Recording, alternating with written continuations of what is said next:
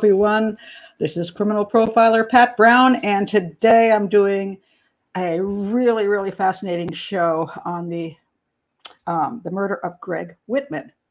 Um, I actually worked this case, so this one is personal to me, uh, and I did have access to all the police reports and the autopsy photos and the crime scene photos, and mm, this was a little 13 year old boy who was brutally stabbed to death. And it's one of those that hits home because it's a child. Um, let me just quickly, before we start, I just want to explain just the basics of the case. Um, Greg Witman was 13 years old. He was stabbed to death on uh, October 2nd, 1998, um, after arriving home from school. His brother, Zach Witman, who was 15 at the time, was arrested and charged with a crime and convicted, and he spent over 20 years in prison. And in uh, somewhere around uh, close to before his parole date, uh, he got paroled in uh, 2019, May of 2019, and and he was 36 years old at the time. Prior to that, he had confessed to the crime, uh, not not in the beginning, but just just you know before the parole date came up he confessed to it in a plea bargain and the claim was he never heard he could have had this plea bargain before his family thinks and many people think he just did this because he had an opportunity because he was a he was a um, he was a juvenile at the time he had an opportunity to get out of prison you know at some point in his life and not have to be in prison uh, for his entire life. So he was willing to take this plea deal. Okay, fine, I'll confess just to get out, which he did. And then they let him out. So Many believe that he only confessed so he could have some of his life back. His parents definitely believed that. So this is what the um, oh, thank you, thank you, Christine, for saying you can hear and see me. I always ask this question, and I just wanted to tell people what the show is about before I ask that question. But I'm glad you can do that because sometimes it doesn't go so well with the video or audio. So awesome! Thank you for telling me.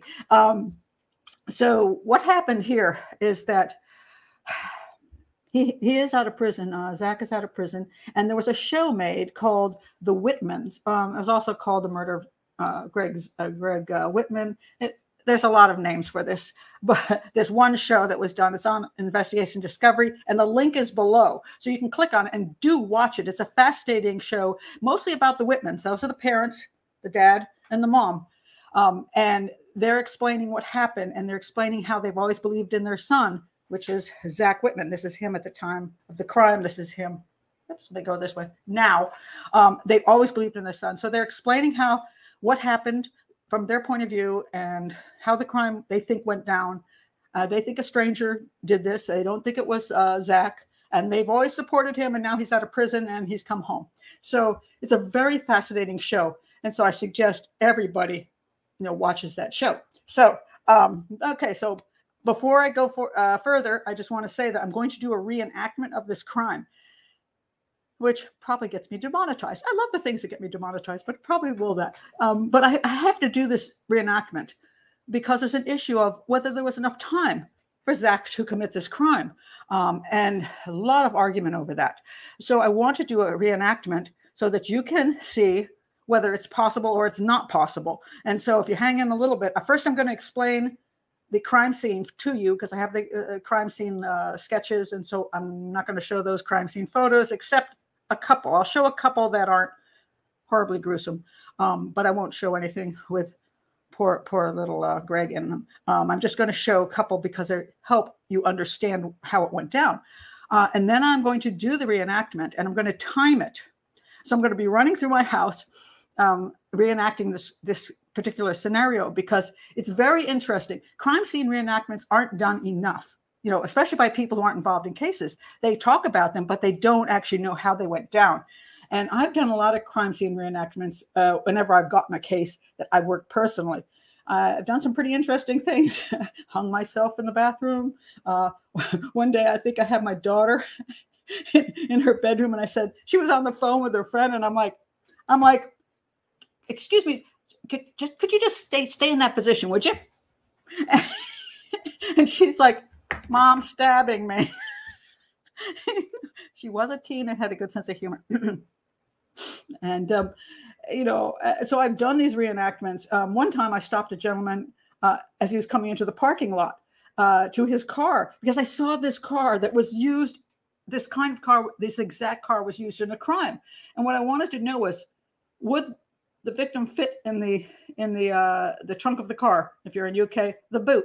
Uh, so I waited because I saw his his um uh, you know he he put money in the meter back in those days, you know, when you put money in meters, and there was like no time left. So I thought this guy's going to come out, and he did. He came to the car, and I said, "Excuse me, sir." Can you just do me a favor? Could you just open your trunk for me? you know, I'm a criminal profiler working on a case, and this is the kind of car that was used. And I just would like to look at see how big the trunk is. And so he opened up the trunk, and I went, "Wow, she ain't going to fit in there." so, so very interesting when you do a crime scene reenactment because you find out things that you wouldn't know if you didn't do that. So hang around for the crime reenactment. It's going to be really interesting. I promise you that. So, yes. So, anyway, before I continue, I do want to do my due diligence because I my I would like my my my channel to keep going in spite of the demonetization. Right here in the middle, please subscribe. If you're sitting here now and you're watching this, please subscribe. Um, it's not going to hurt you. It's not going to cost you anything, but man, does it make a difference in how the algorithms find my show and put it out there to the public. Um, so please do that. And please share it. If you're part of a true crime community, share this video because, you know, I, I do not participate in other Facebook pages or true crime pages because as a professional, I don't want to say I agree with ne- necessarily the viewpoints here or the viewpoints there even if I do, I'm not going to try to, I'm, I try not to say that. So I don't post in any other place except for my Facebook page and my Twitter page, which you can also, you know, go to. Uh, so do share in your own communities um, and press the bell so you get notifications and do like this one. Also, you can join Patreon. Huge way. This is a huge support for me because since I'm being demonetized, if you join Patreon, this way, Patreon. Um, even for a dollar a month, that supports the channel. There are three levels, different things happening, and I'm going to be adding to those you know, as, as time goes on. Uh, but you know, read what read about it and support the channel and buy my book. Hey, okay, there we go. That's enough. All right. So now on to what's really important here. All right. So this is these are the Witmans, um, and this is the you really should see this documentary because it really does show what the parents are going through. Um, these parents came to me. These two parents sat in my house, in my office, across my across from me at my desk, and I I, I was asked to review this case for the defense, um, and it was very very heartrending because these two people, these parents, they lost one of their sons to homicide and the other son was accused of the homicide. Can you imagine anything worse than that? And like literally, I just have to say, my heart just rips for these two people because I can't think of anything worse. Uh, uh, you know, I, I don't know if there's anything worse. It's what's one thing to lose your child to murder, but it's another thing to have your other child accused of it. Um, and there are a lot of crimes like this, uh, you know, more crimes than we realize, uh, where uh, one family member kills another family member or all of their family. We've seen some cases where uh, I did Bamber and Bain. If you look on my videos and you go to my playlist, guys, go to my playlist, look under live shows or look under case cases, and you'll see all the cases I've done, which I think are about almost 40 now. And you can look and see what case you're interested in. Um, so go to those those up on the top of the screen that says videos and playlists. Hit those things and you'll find other cases that i've i've done. And bamber and bain are two cases where uh, the two young men and the families killed their entire families. In my belief they were both guilty of killing their entire families. Other people disagree but i believe they did. So you have those that kill their entire families and then walk away. Um, you have sometimes a, a duo like brothers or brother and sister who kill the rest of their family and and try to get away with it. You but you also sometimes get what's called fratricide, where basically one sibling kills another. And I'm not I'm say fratricide is brother killing brother. I always get confused on that. But anyway, um, one sibling kills another. And why does one sibling kill another? Usually, in my opinion, uh, from my experience, there's a level of jealousy that the one who is doing the killing feels that they have been ign- they're not getting the attention that the other sibling is getting that that other sibling is the golden child the one that is preferred by the parents and therefore they do them in. Um, now anybody who's been part of a family does know that their their parents sometimes have preferences. This is this is just a fact of life. Um, i was one of three uh, girls. Um, I have two sisters, two older sisters. and I was that third child who I felt when I was growing up was that child that wasn't the golden child. I was the ignored child. That's what I thought. Now, mind you, I was a kid and a teenager. Who knows? Now that I'm older, I have a lot different viewpoints on things. And here's what I think happened in my personal experience. My parents my mother was uh, an ice capades. Um, she was in the ice capades. She was a skater, and so my she met my father at Rockefeller Center, and they skated together, and then got married. And my my my oldest sister, they they took her to the rink, and she skated beautifully, and she actually did become a a, a, a competitive skater later in life. And then they gave her the Stanzione boots, which, if you know anything about ska- skating, these were like the top boots you could get.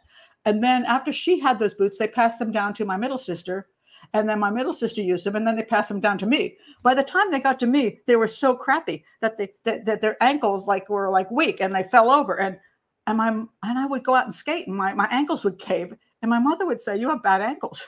And it wasn't until I later in life, or as a teenager, that I went and got some cheap uh, you know, boots, uh, skates That you know, when you go to a skating rink, you know, and you just, you just rent the boots and they're like rocks. I'm like, dang, I can skate. I'm like, mom, why, why did you make me wear use those those Stanzione boots that were no good anymore? Yeah, and I'm thinking she should have known that they had become weak and therefore they wouldn't support my ankles. But anyway,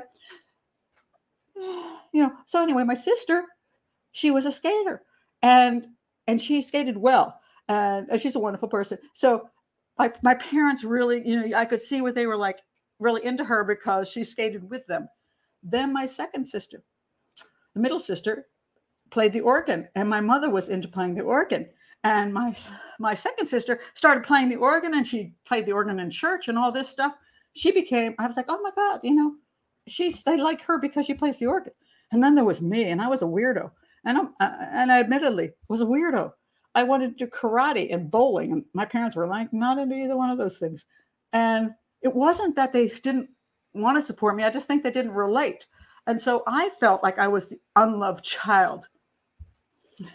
now, I'm going to say my oldest sister probably thought certain things about her life. My middle sister thought things about her life. And I was just a stupid teen who probably thought, eh, they don't like me as much as my older sisters.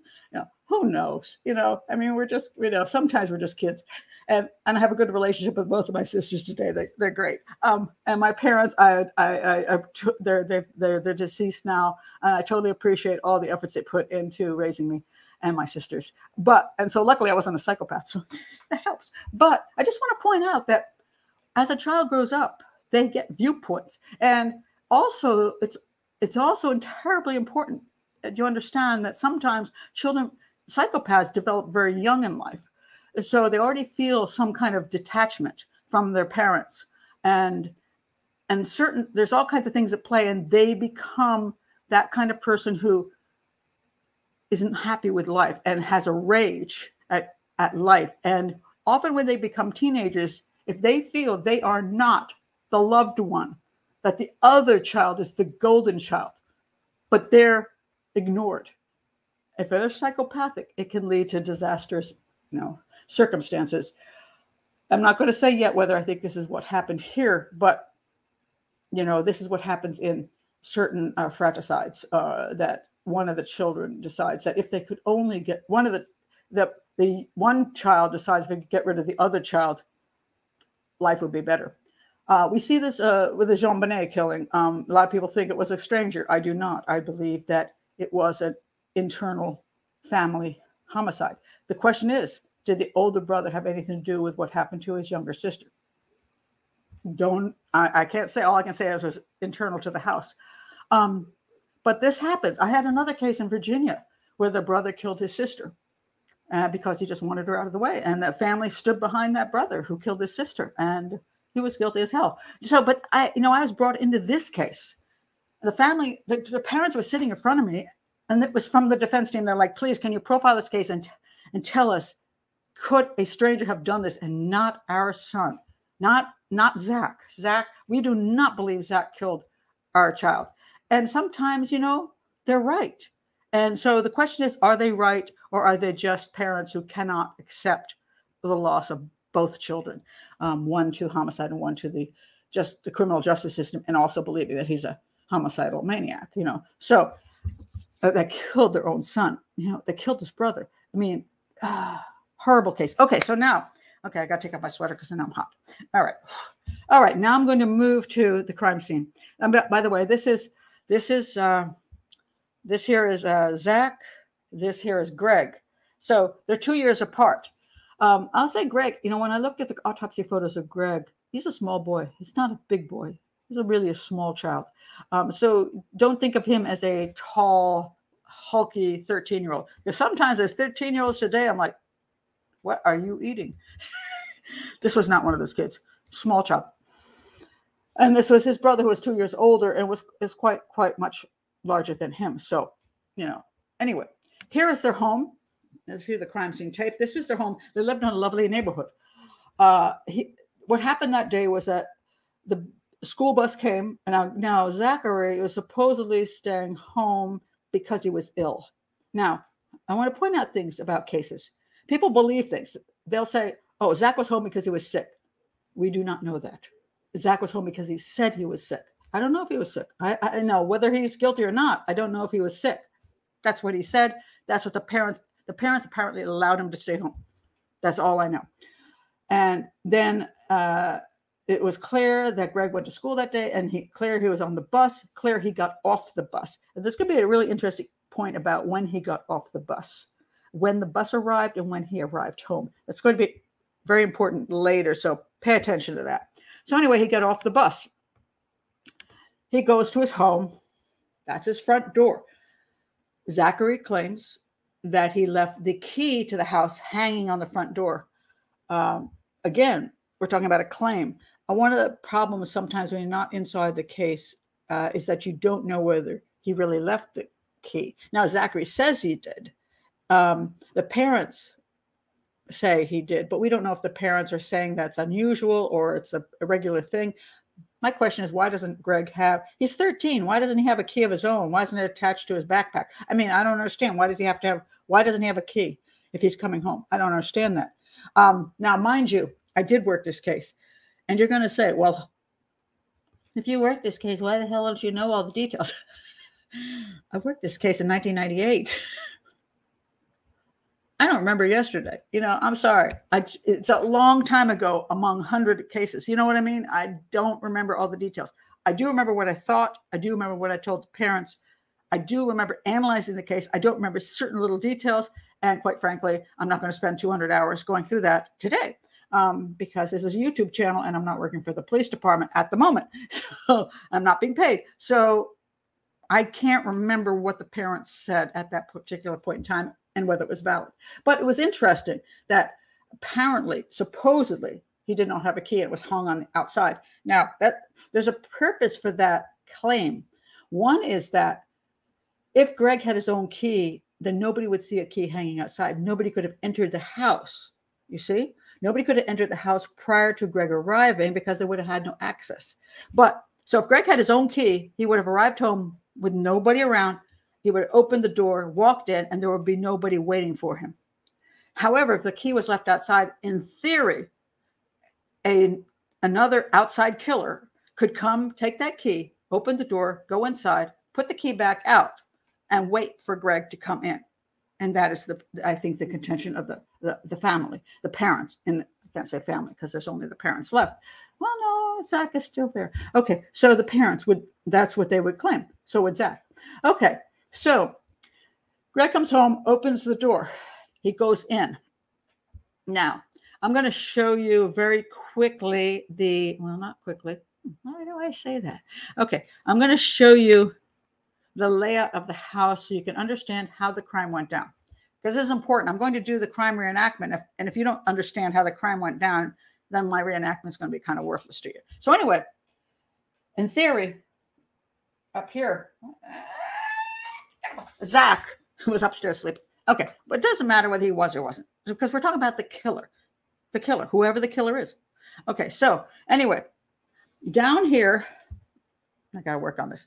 So here is the door. So anyway, um, the door to the house. So Zach comes in. Basically, he, he comes in, supposedly opens the door, and then comes in and closes the door. And I believe this is true. I believe he entered the house and closed the door. I do believe the killer was in wait, whoever the killer was. The killer was there because just as he came in the door, he was attacked. I mean, attacked right away.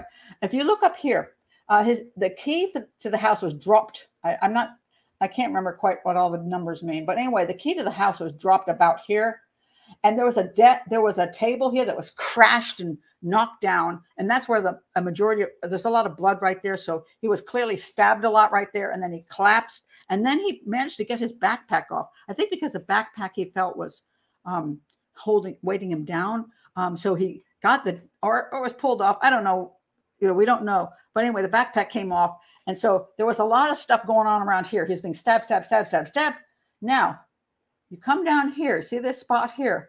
This this is the entrance to the dining room. But first, he tried to get out the door. I'm going to show you one crime scene photo, which is a crime scene photo, uh, which is okay. So what you can see here you can see blood. The door is partially ajar, and that's because Greg got hold of. You can see blood on the door too. He got hold of the door and was trying to pull it open, and the killer was preventing him from getting out. Now, right next door is the dining room. So if he couldn't get out this way, then he ran through the dining room. Okay, so now we have here the picture. Well, that's the wrong picture. Is that the right picture? No, that's the right picture. Okay, so no, okay, okay, that's not. Uh, let me go to the next picture.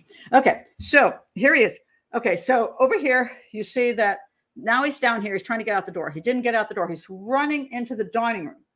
Running, running, running, running, running. Now, he's not being stabbed in the dining room. I can tell you that because there's not enough evidence of it. There are drop blood droplets, which means he's and they're not that fast. So I think the poor child is not like racing. I think he's trying to get he's trying to survive getting through the dining room. He's been he's been stabbed a lot. I think he has probably stat, you know, uh, defense wounds, and he's getting through. He gets to here now. Now somebody's going to say I'm wrong on this, but you know it's really hard because some of the information is question is just poorly written. Okay, there was a gate, uh, like a like a dog gate, so they didn't want the dog to get into certain areas, um, and he hopped over it. Now the the the prosecution says he hopped, he jumped over the gate. Now it's interesting when you watch this show on the Witmans. Now, here's a picture of the gate. Okay. And this is actually a crime scene photo. That's the gate. And there is actually blood. You can see blood around here. So these are actually, this is a crime scene photo. Um, the Witmans later on in the in the show, and Mrs. Ms. Witman, Mrs. Witman, sorry, Mrs. Witman is. If you look at this and you see everything looks different, um, it's probably because they moved to another house. But anyway, she's. Can you see that? She's holding up her hands like this her claim is that the killer, after he stabbed uh, Greg a number of times, then carried him over the the the uh, dog, which is the dog gate. Um, it carried him over the dog gate and then took him to the the laundry room where he killed him. Now, the reason I believe she's trying to say that is because a 13 year old boy who is immobile at that point in time, which is what she's trying to say, he didn't actually get over the gate on his own, that he was immobile. You had to have an adult, a strong adult, carrying a 13 year old boy over that spot. There's no evidence that he was carried over that spot. At this point, it is more likely that um, Greg had sustained a number of injuries, but not fatal injuries, enough that he could walk through the dining room and get over the gate. He was trying to get out of the house. Okay, so now let's look at where he was going after that. Uh, let me find the right picture. Okay, so now, okay, so he's gone through. It's hard to. He's gone through the dining room, and he ends up. See, see this spot right here. This is where he tries to get out the, into the garage because he's trying to get out. He tried to get out the front door. Now he's trying to get out the garage door. And there's there's clearly he couldn't make it because somebody was preventing him from doing it, you know. And then he, he goes here and he tries to get out the back door. Okay. Now the back door, this is this is from a television show, so it's it's ooh, scary. I couldn't show you the real stuff because it's unacceptable to show you. Um, he tried to get out of the back door, and it's clear that the door handle shows blood on it, like he tried to grab it, but also shows a handprint above it, which is not Zach's. So the killer was trying to prevent him from getting out the back door. This is where he was killed. He was killed right here in the, see his body's here. He was stabbed to death here for the remainder in the laundry room next to the washer and dryer. That's where his body's found. Um, that's where the massive blood is. That's you know it, that's where the horrible scene is. Um, so that's where he ends up. Then the next part is supposedly the killer then leaves the house and goes out into the backyard and buries a couple of items in the backyard next to a pine tree. And this is this is from this is a police photo. They they used a rake because they were trying not to touch anything. They were carefully raking to see if anything was under there, and they found this. And this is a gruesome crime scene photo, sorry, but this is at least not human. Um, this is the soccer glove there were two soccer there were soccer gloves found. This is what they look like, soaked in blood. This is a weapon. Uh, this is a knife uh, that was found with blood on it, and all the blood belongs to Zach. Now, so it, it does appear that whoever killed Greg then went to the backyard and buried the gloves and this um this knife. Okay, so how interesting is that? Now, I just want to point out, just for the sake of uh, my my subscribers, love you all because you support this channel, and I'm trying to keep it alive. Okay, let me tell you what some of my subscribers said. These are my these are not I'm sorry, not subscribers, my Patreon supporters because they do support this channel monetarily, and I want to give you a shout out on that. Uh, so anyway, I just want to read you a couple. What people think at this point, they're like, well, this is kind of interesting. Karen says, Hi, Pat. I watched a documentary. I think Zach loved his brother. I also think he killed him. Only someone living in the house would bury the murder weapon in the backyard. The parents cannot fathom that one son murdered another. Their position is understandable. It is not, it is not, but it is not evidence. And I love this point. Karen, you made a great point. Just because a parents love their son doesn't make it evidence that he didn't commit a crime. That's a that's an excellent point. I would like to know if you found any evidence of an intruder. And the answer here is, is just from the police reports and the DNA reports and anything else. The answer at this point is no. Okay. Doesn't mean an intruder couldn't be here, but no, no evidence was found, DNA or other evidence of an intruder that that we can prove. I also point, I want to point out something else here. I think Zach loved his brother. I'm going to say if he committed this crime, he did not love his brother because love is confused with um, when, when, when a person does this kind of crime, if he did this kind of crime, because I'm going to get to that, did he commit this crime or not? If he did commit this kind of crime, no person who loves their brother or sister can commit this kind of crime. This is psychopathic. This means they're, and I've, I point out over and over again, my famous saying, you can attribute it to me, please do, because it is mine. A psychopath either believes you're useful or in the way. Useful can be you're fun to play with, you're fun to play games with, you're fun to have around. You un, you're in the way means now you're getting you're stealing all my my thunder. So i really want you out of my way. You're now the golden boy and i'm not. Now my parents pay more attention to you than me. And that can be the reason for homicide.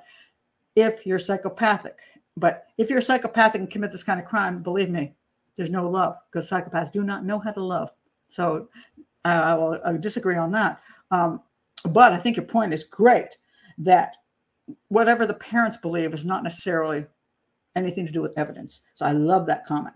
Lindsay comes along and she says, um, I watched the YouTube video suggested about Zach Witman. I cannot believe he's now free and his parents are blinded by their love for him, I think.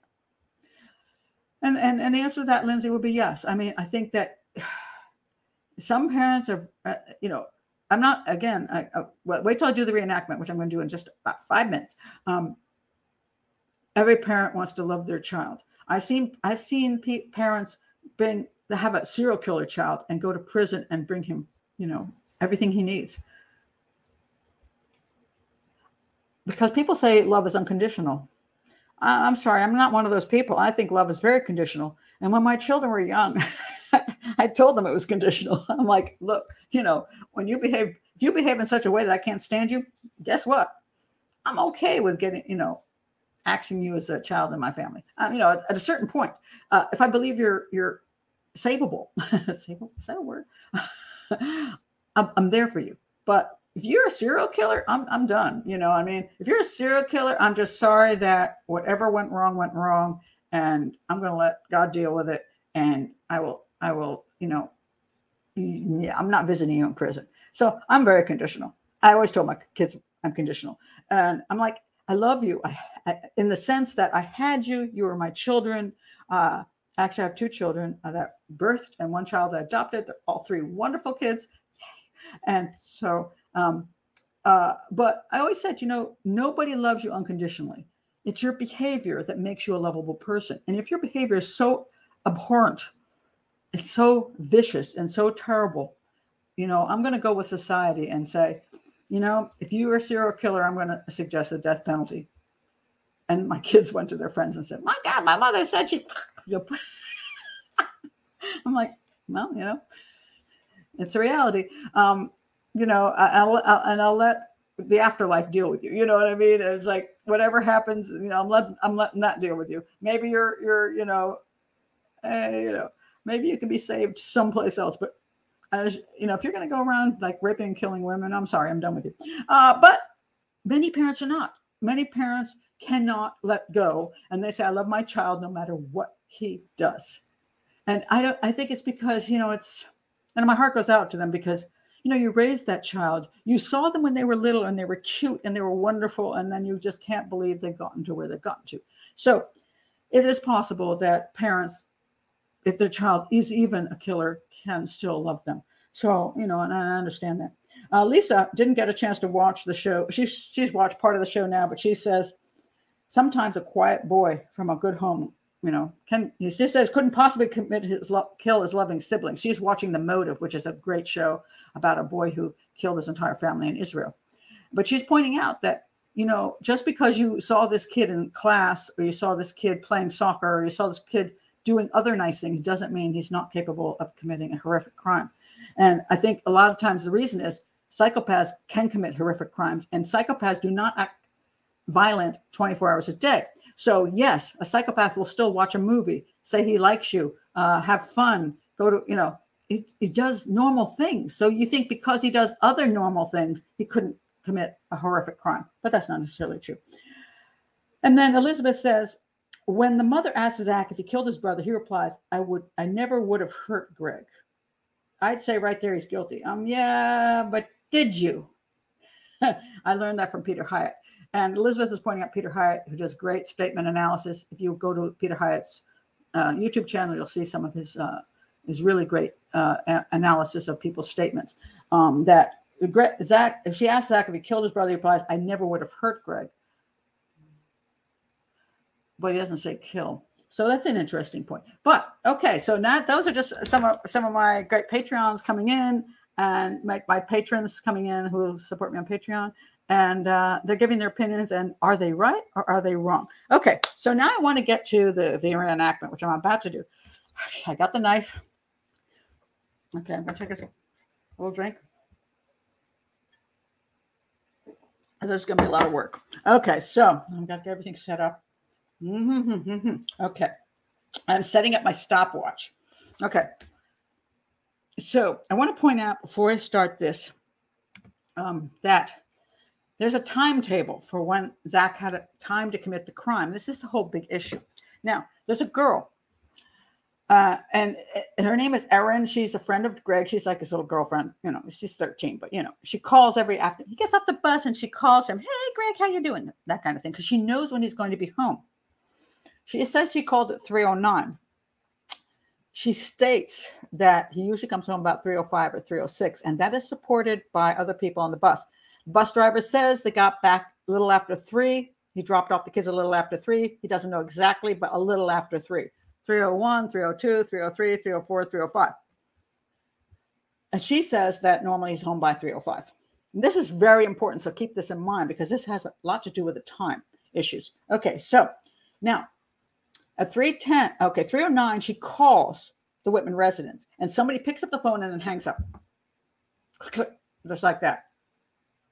And then at 310, Greg arrives home. Or does he? There's no proof that he didn't arrive home earlier. And this is my big point that since he could have gotten off the bus at 301, 302, 303, gotten home, he could have been there by 305, 304, 306. I don't know why there's an insistence that Greg arrives home at 310. There's no proof of that whatsoever. The claim is that she called, somebody picked up and hung up, and then he arrived home. Why? Makes no sense. I mean, I don't understand what one has to do with the other. Somebody just didn't let Greg answer the phone if he was maybe not available to answer the phone. Anyway, okay, the 315 Erin calls again. She's an insistent little girl. Um, she calls again at 3:15. Zach does answer the phone at 3:15, and he says that Greg is not home. This is a very interesting point.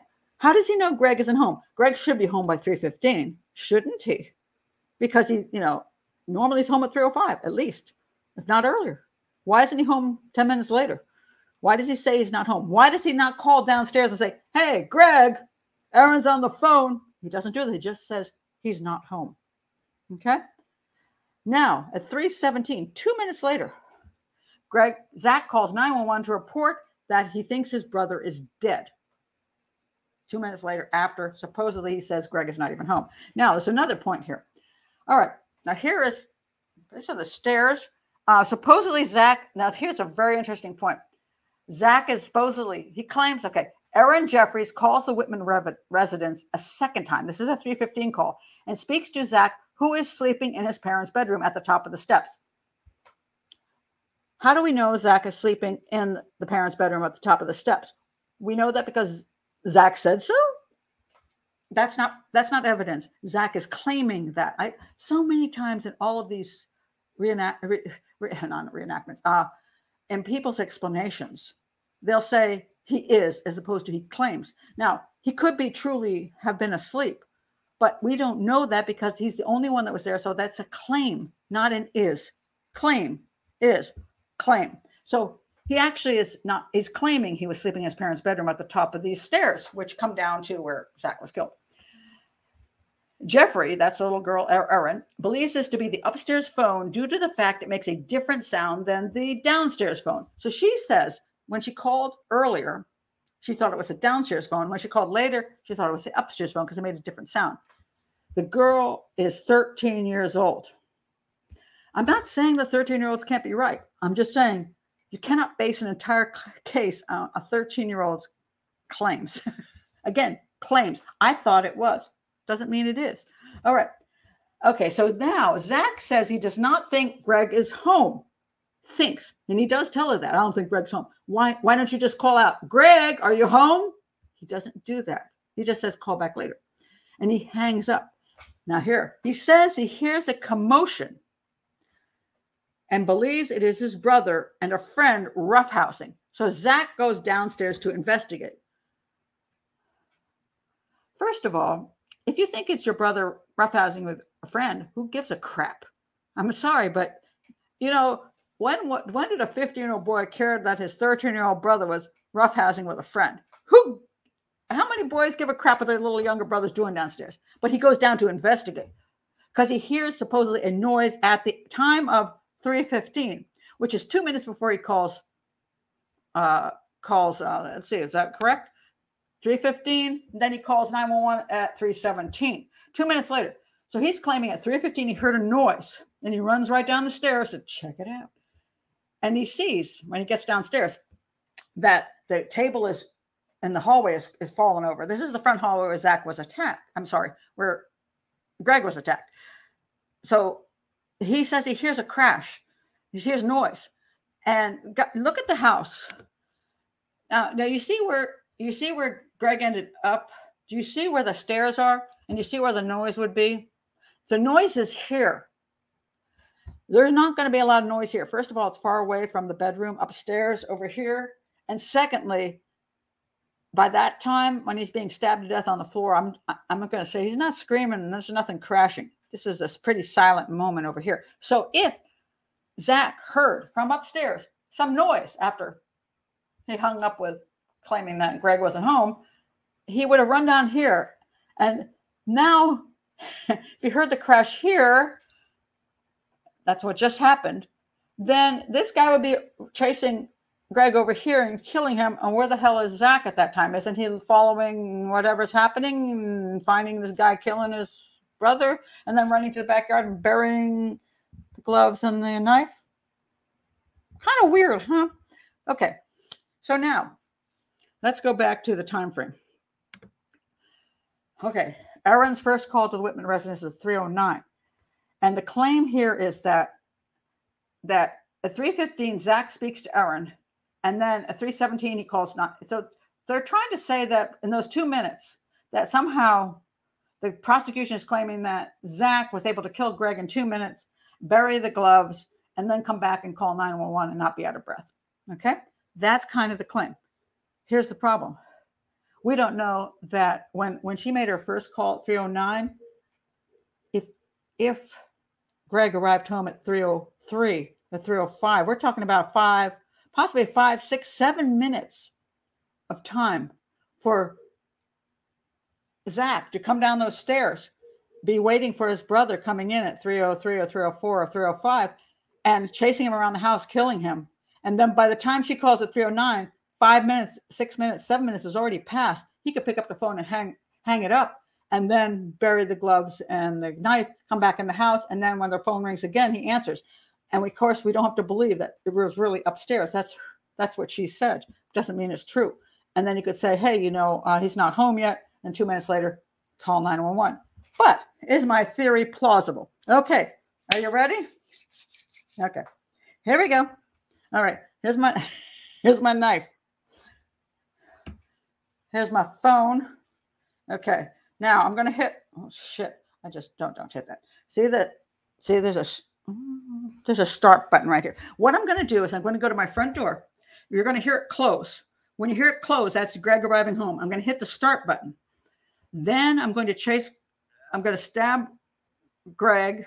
Uh, let me put quotes around that in the hallway where he was attacked. I'm going to stab him 40, 60, and I'll stab him 40 times because now there's a whole lot of issues about how many times he was stabbed. Now let me let me just see if I can bring it. No, here it is. Okay, here it is. This is the evidence from the blood stain pattern analysis, and this is from the crime scene reports. This is the this is what they say happened. Now there is a uh, 60. See this 65 separate stab wounds encircling the neck. So he's got like 65 stab wounds around here, and a lot of times you hear more than 60 when you talk about this case. But the six the 60 some stab wounds is in here and there's other stab wounds on his on his back and also on a couple on his face and then on his hands because they're defense wounds okay? Because he's trying to stop whoever it is from stabbing him. So i'm going to say those are the other 40 people sometimes say 100 times. Okay let's let's let's go with 40 just i'm going to make this harder for myself to prove because i want to make sure it's harder to prove than than people are saying. So okay so we're going to start out. I'm going to pretend I'm down here. Okay. And Zach comes in the door and closes the door and he drops his keys right here. So I'm assuming that's where the stack, uh, the, attack starts here, the table here that gets crashed. I'm going to do my best to replay this. I'm going to do 40 some stab wounds here. And now he now he cannot remember. He tries to get out the door, and then he goes into the dining room, jumps over the the the doggy door, the doggy gate, and then goes tries to get out here, and then he goes into tries to get out the back door of the laundry room. That's where he stabbed 60 times. How long will you think this takes me to do? Okay, here we go. Bye. Just listen. I hope I don't screw this up because I've set up everything in my house. I even have things to jump over. Mostly, oh shoot, oh, shoot, hold on. I just actually hit this stupid thing. No, no, I don't want to start that. My stopwatch. Okay. Um, I've actually set up things. Well, no, I didn't. Actually, I'm just putting out a bunch of books because I'm going to do a whole thing on what books I think are good for each area of criminal profiling. So I have this pile of books on the floor. That's going to be my dog gate. Um, so behind me is going to be my the, the laundry room. So over here, uh, over here, I'm going to have the door. He's coming in. I'm going to run around my kitchen a bunch of times, pretend I'm going, pretend I'm going to the dining room. Then I'm going to jump over the dog gate and go into the into the laundry room. Let's see, how long does this take me? I'm going to do 100 stabs. So I'm going to try to make it as much as I can to make it as accurate as I can and even make it harder than it would be. How long do you think it'll take? Okay, I'm ready. Okay, okay, I got zero, zero, zero. Here I go. Bye bye. Okay. Hope I don't screw this up. All right, here I go. All right. There's Greg. He's coming in the door now. Okay, here he comes. He's coming in the door. I'm going to start the thing.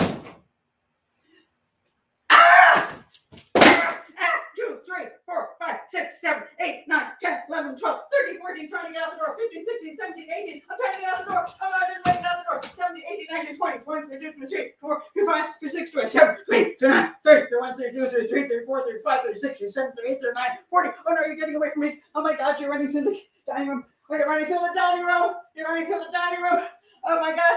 I'm gonna get you. I'm gonna get you. Okay, he's jumping over the gate. Oh, he's jumping over the gate. Now he's in the laundry room. Oh my God, there you go. You can't get out that garage door. No, no, ah, no, no. Can't get out the back door. No, no. Now I'm gonna stab you. Uh, 41, 42, 43, 44, 45, 6, 47, 48, 59, 50, 51, 52, 53, 54, 55, 56, 57, 58, 59, 60, 61, 63, 64, 65, 66, 67, 68, 69, 70, 71, 72, 73, 74, 75, 76, 77, 78, 79, 80, 81, 82, 83, 84, 85, 86, 87, 88, 89, 90, 91, 92, 93, 94, 95, 96, 97, 98, 99. I've done you in. Alrighty then.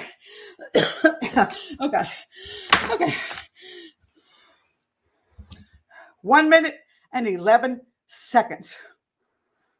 One minute and 11 seconds. Seriously. Woo. Okay. I'm 66 years old. I'm not 15. I'm not in a frenzy. One minute and what was that again? Holy crap. That was quick. Little over one minute. And I did 100 of those. And I ran around and I jumped a gate. I did all of that. And yet he might have had two minutes, three minutes, four minutes, five minutes before that girl called the first time and he picked up the phone and junk knocked it down.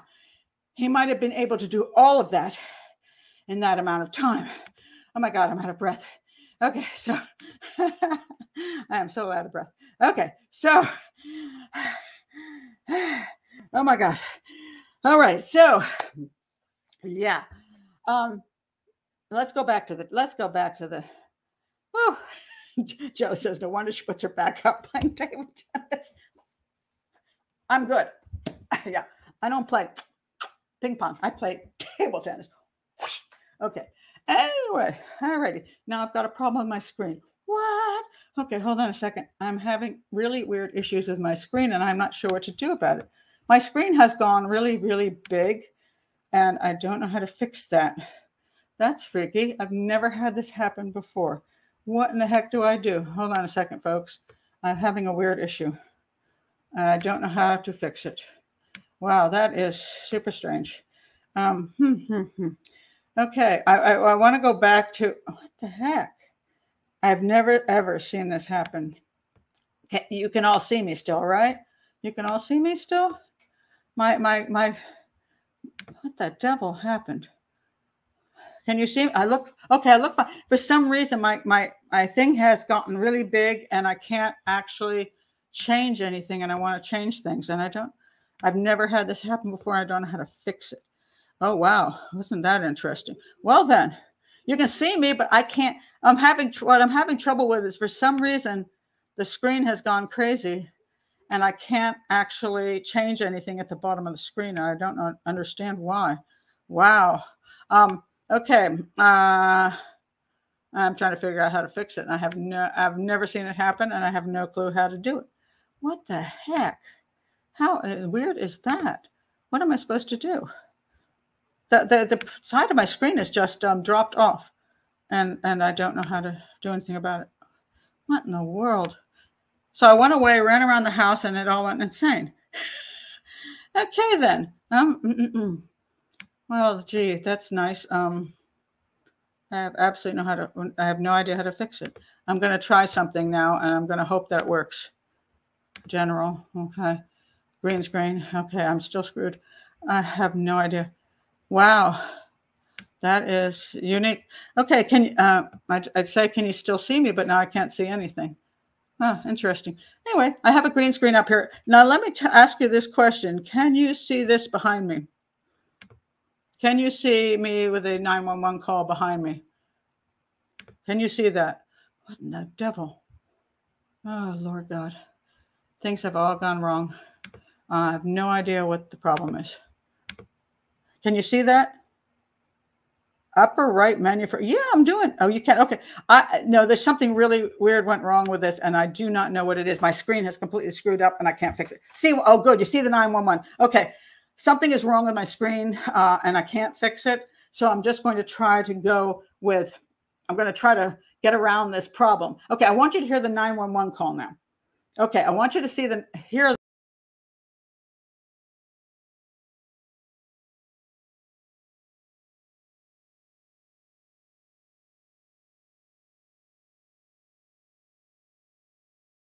Am I still here? Because I just end up getting out of here and disappeared.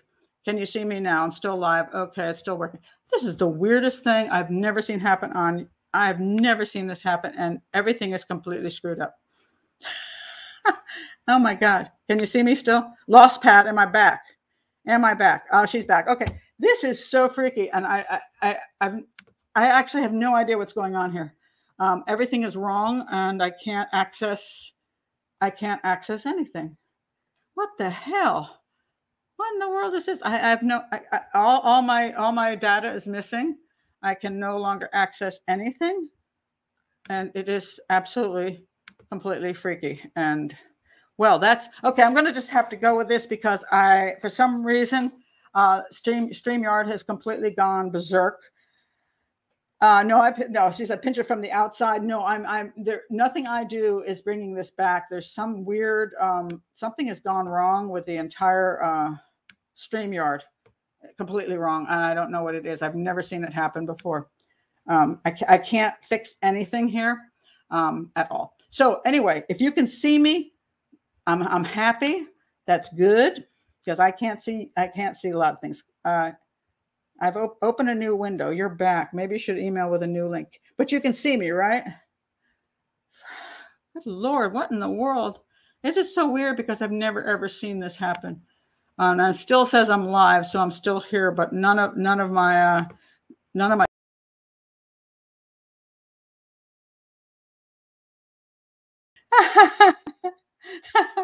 I mean, everything's gone wrong, which is really annoying beyond belief. Um, video and sound are okay. Well, you know, I I can't I can't understand what's going wrong here. Okay, you can see and hear me. So I'm just going to go ahead and just keep telling me you can see me and hear me because I can't move anything on the screen. It's all frozen. So anyway, but I want to talk to you about this. If you if you watch the 911, if you hear the 911 tape, which I was definitely going to show you, but I cannot access anything right now, um, it will start halfway into the tape, which I think is fascinating. It'll start with um, Oh, I'm cutting in and out now. Oh my goodness. Am I really? Is anybody else saying I'm cutting in and out? Or is it just just Doreen that's having a problem? Oh my God. I, I can't believe this. No, I'm cutting out. What in the world? yeah, okay, back again. Okay, I can I can hear you fine. Okay. I want you to hear what I'm saying here because this is a really important part. Um, you're fine here. I can't access anything. I'm completely screwed. And I've I've done 40 videos. It's never happened. So here we go. You know, it, it's these weird. No, I cut out twice because I was trying to get back to my original screen. And for whatever freaky reasons, I can't uh, access my original screen at all. It's completely gone. I can't access anything. I can't access my pictures. I can't access my videos. I can't access anything. But I'm going to finish this right here. Okay, so, okay, so I know you're cutting it. Okay, now, okay, wait a minute. Okay, I'm okay. Why don't you turn what?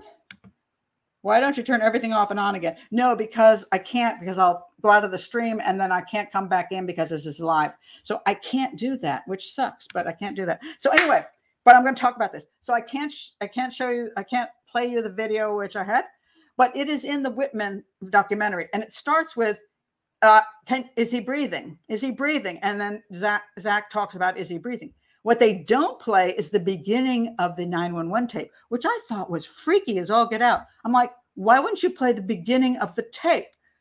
And here's why I think they didn't because they didn't like what the beginning of the tape said. And what was so weird was that I can remember from 1998 what the beginning of that tape said. And so this morning I'm running around crazy because I'm like, why aren't they playing the whole tape? Because the beginning was interesting to me. And I found the tape, and here it is. It's the 911 tape from the Zach Witman case. You know what I can't find? I can't find a tape recorder to put it in because I don't own one anymore. I'm like, I'm like, you got to be kidding. I want to play this for them, but I don't have the machine to play it with. Oh my God. hey, and, and, and you'll know what I'm talking about if you're old enough to use, know that you use a pencil to make, to twist the thing to, you know, make it work properly, to move it ahead. but I don't own a tape recorder anymore. So, but I did have the 911 tape. but you can't hear it. But I remembered it. I remembered it from almost 20 years ago, even so even more than 20, 20 more than 20 years ago. I remember it because it struck me so hard. And here is what here is what they, he said. Now look at this. And I'm going to actually because I actually remember how he said this. So I'm going to do a reenactment of the tape with his voice, but this is just okay, this is just my version of it. But this is what I remember. 911 operator, your County 911. Oh my God. Oh my God. I just came downstairs and my brother, his throat is all cut up. I don't know. I guess he's dead. Hello? Hello? I just came downstairs. My brother came from came home from school. His throat, it's all cut up. You got to help me. What I remember is, oh my God. Oh my God. And it was like, what? It was the weirdest, not like like like a fake thing. Oh my god. Oh my god. I just came downstairs. Why did they cut this from the tape that they played on the documentary? And I think it's because it would make people say he's he's not telling he's he's he's involved in the crime. The way he's saying it is not natural. It's as a bad acting job. And when I heard this, that was my thought. It's a bad acting job. So, what do you do when you got a bad acting job? Well, you know, you cut it out when you want to present a different issue. Now, okay, so right here, I just want to point out, and I and I got great other pictures I can't show you because my StreamYard has gone insane. So there was there there was a the defense team came. To, let me tell you what happened when the parents are sitting in front of me. They had sent me along. Then I had from the defense attorney. I had all the information. I had the the I said all the autopsy photos, all the crime scene photos, all the police reports, and I looked through everything. And then I had the parents drive down from Philadelphia, and they sat in front of me. The sad couple of parents, you know, and and I'm I'm the defense team is asking me to save their son essentially by profiling that this crime was committed by a stranger. And I'm sitting there looking at these parents, and I remember what I said to them. And I don't, you know, I've worked a lot of cases. So if I remember it, it must have been pretty dramatic to me. I remember looking at these parents and thinking, I got to tell them this. And I said, if I were the prosecution, I could drive a Mack truck through the, through the defense case. That is what I said. I could drive a Mack truck through the defense case. And they were not happy, shall we say. They were not happy and I could drive a Mack truck through the defense case because here was the problem. And there, the defense people have put up. Uh, they have a guy who who says, "Well, he, he couldn't have committed the crime with such a teeny little knife." No, the knife had his blood on Zach, uh, uh, Greg's blood on it. The gloves have Greg's blood on it, and all the the the when they analyzed the actual the forensics of the crime, the this particular and this is not the this is not the knife. This I found in my my uh, my kitchen drawer. Um, this the small tiny knife that he used indeed matched all the stab wounds on the child and and one of the questions was, well, his throat was uh, cut open. He couldn't have done that with all the stab wounds with this little teeny knife or cut with this tiny knife. Let me tell you, these things are, can be pretty sharp. And also, if you stab enough times in a row, that the, the skin just pulls apart. So, yes, one this tiny little knife could have committed the crime. And and this the defense guy says, "Oh, well, it probably would have broken." Well, dude, it didn't because it was buried in the backyard with the gloves, the soccer gloves. And so, no, it didn't break. And there's no other evidence another uh, another weapon was used unless he like stabbed him all these times in the throat with this little little weapon, and then decided that's not working. I'm going to get up and go get a kitchen knife and cut his throat and go back and wash the kitchen knife. Actually, that could have happened. They didn't prove that happened, but it could have. But I don't think that happened. I think he that simply by stabbing him enough times in a row, the skin split apart and, uh, and caused what was a gaping wound. This was buried in the backyard with with gloves. Now, I'm going to say, first of all, there, it is like extraordinarily unlikely. First of all, nobody had any issues with Greg. The kid was a 13 year old boy, who played soccer. Who was going to kill him? What neighbor wanted to kill him off? What big person wanted to kill him off? That would a know he was his brother was you know think his brother was not home and come in the house and wait and wait for him and then stab him. Not a sexual homicide, not a robbery. Just for some reason wanted to kill a 13 year old boy in such a violent and vicious manner. Very unlikely. Very unlikely. So no, that didn't happen um, that this guy would do that. And then on top of that, he would then go out to the backyard and bury the gloves, which happened to be mm, probably, I would say, Zach's gloves and Zach's knife in the backyard. So, what he used weapons that were so close to what Zach already owned that they happened to look like they matched what he would own, or that he used weapon they were just lying around the house for him to use. And then he felt the need to like try to to bury them on the way out. He's not just going to run away. He's going to bury the weapons there, maybe leaving DNA. He's going to do that and try to, to try to implicate, to try to implicate. Um, oh, look at the, well, I said alt. I got to see what Christine says. Wait a minute. Until full screen. Really? Okay, I'm going to try it. Alt delete. If I, if I disappear, though, I'm going to be so pissed. I don't have to. if I thank you, Christine, let's see if it works. I'm just going to see if it works. What the hell? Alt delete. Mm-mm-mm-mm. Where'd my delete go? Why the devil did my delete go? I see alt. I don't see delete any place. Oh, there it is. Okay, let's see. You're right. I'm going to be so in love with you. Guess what? It's not working. Nothing. Something freaky happened with uh, StreamYard. That's all I can say. I have no idea uh, what what's what, I've never seen this happen, and I I don't want to push myself out of StreamYard completely. So let's just go with what I got behind me. Um, so anyway, you you have a killer who supposedly waits and kills a 13 year old boy for no reason at all, stabs him 100 times for no reason at all, and then goes and buries the implements in the backyard on his way out.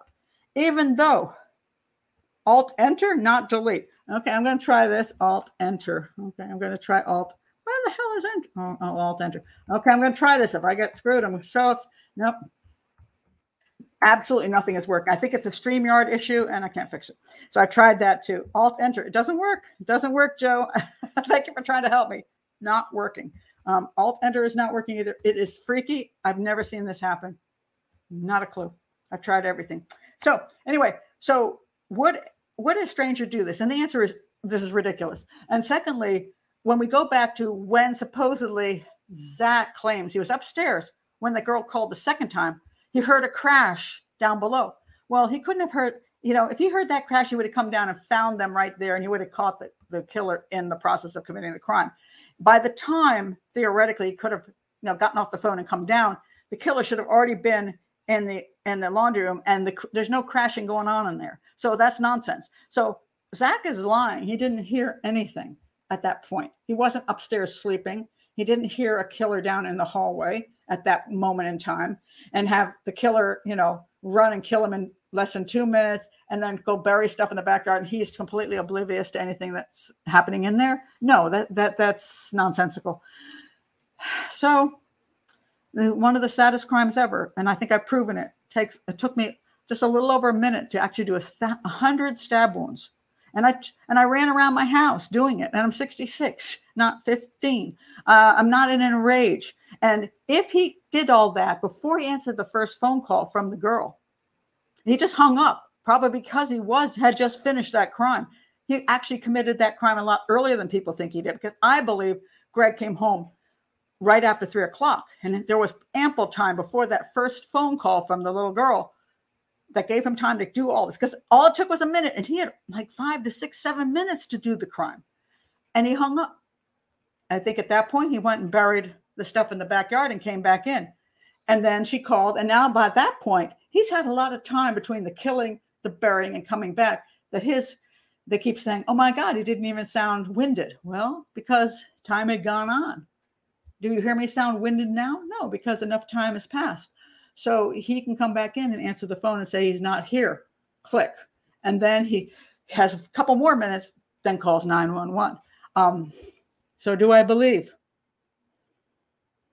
No, and, uh, and and Genevieve says, uh, I'm trying to try to pull these up because they're off the screen. and how come you didn't hear any screaming? If someone's getting stabbed, wouldn't they be screaming really loud? Yeah, I would say that the chances are, uh, if if he heard the crash, that's when he should have heard the scream. Because when somebody's just beginning to attack you, stabbing you in the back, because he had his backpack on, so why he couldn't get a really good, you know, stab in the beginning. He had his backpack on and he went down at that point. I'm sure he started screaming then. And then he would go down. And then later on, we run through the house and jump over the gate and he's in the laundry room. He's probably weak at that point and he's trying to get out and then he's killed. So the screaming would be in the hallway where the crash was. But oddly enough, yes, you're correct. Zach says he, did not seem to hear any screaming at that point, which makes no sense to me whatsoever. So I, I, I entirely agree with you. Um, he should have heard screaming. So uh, and that's a that's a good point. I want to point this out, Jolly. I'm saying I'm seeing half of your thing, so I'm guessing what you what you're saying over here. oh my god. It was planned, wearing gloves and then burying the weapon and coldly waiting until ready to call 911.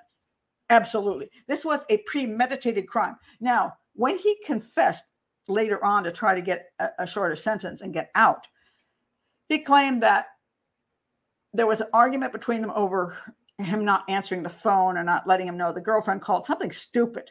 This was not this was not an an instantaneous rage crime. No, it was not. This was a planned and premeditated crime.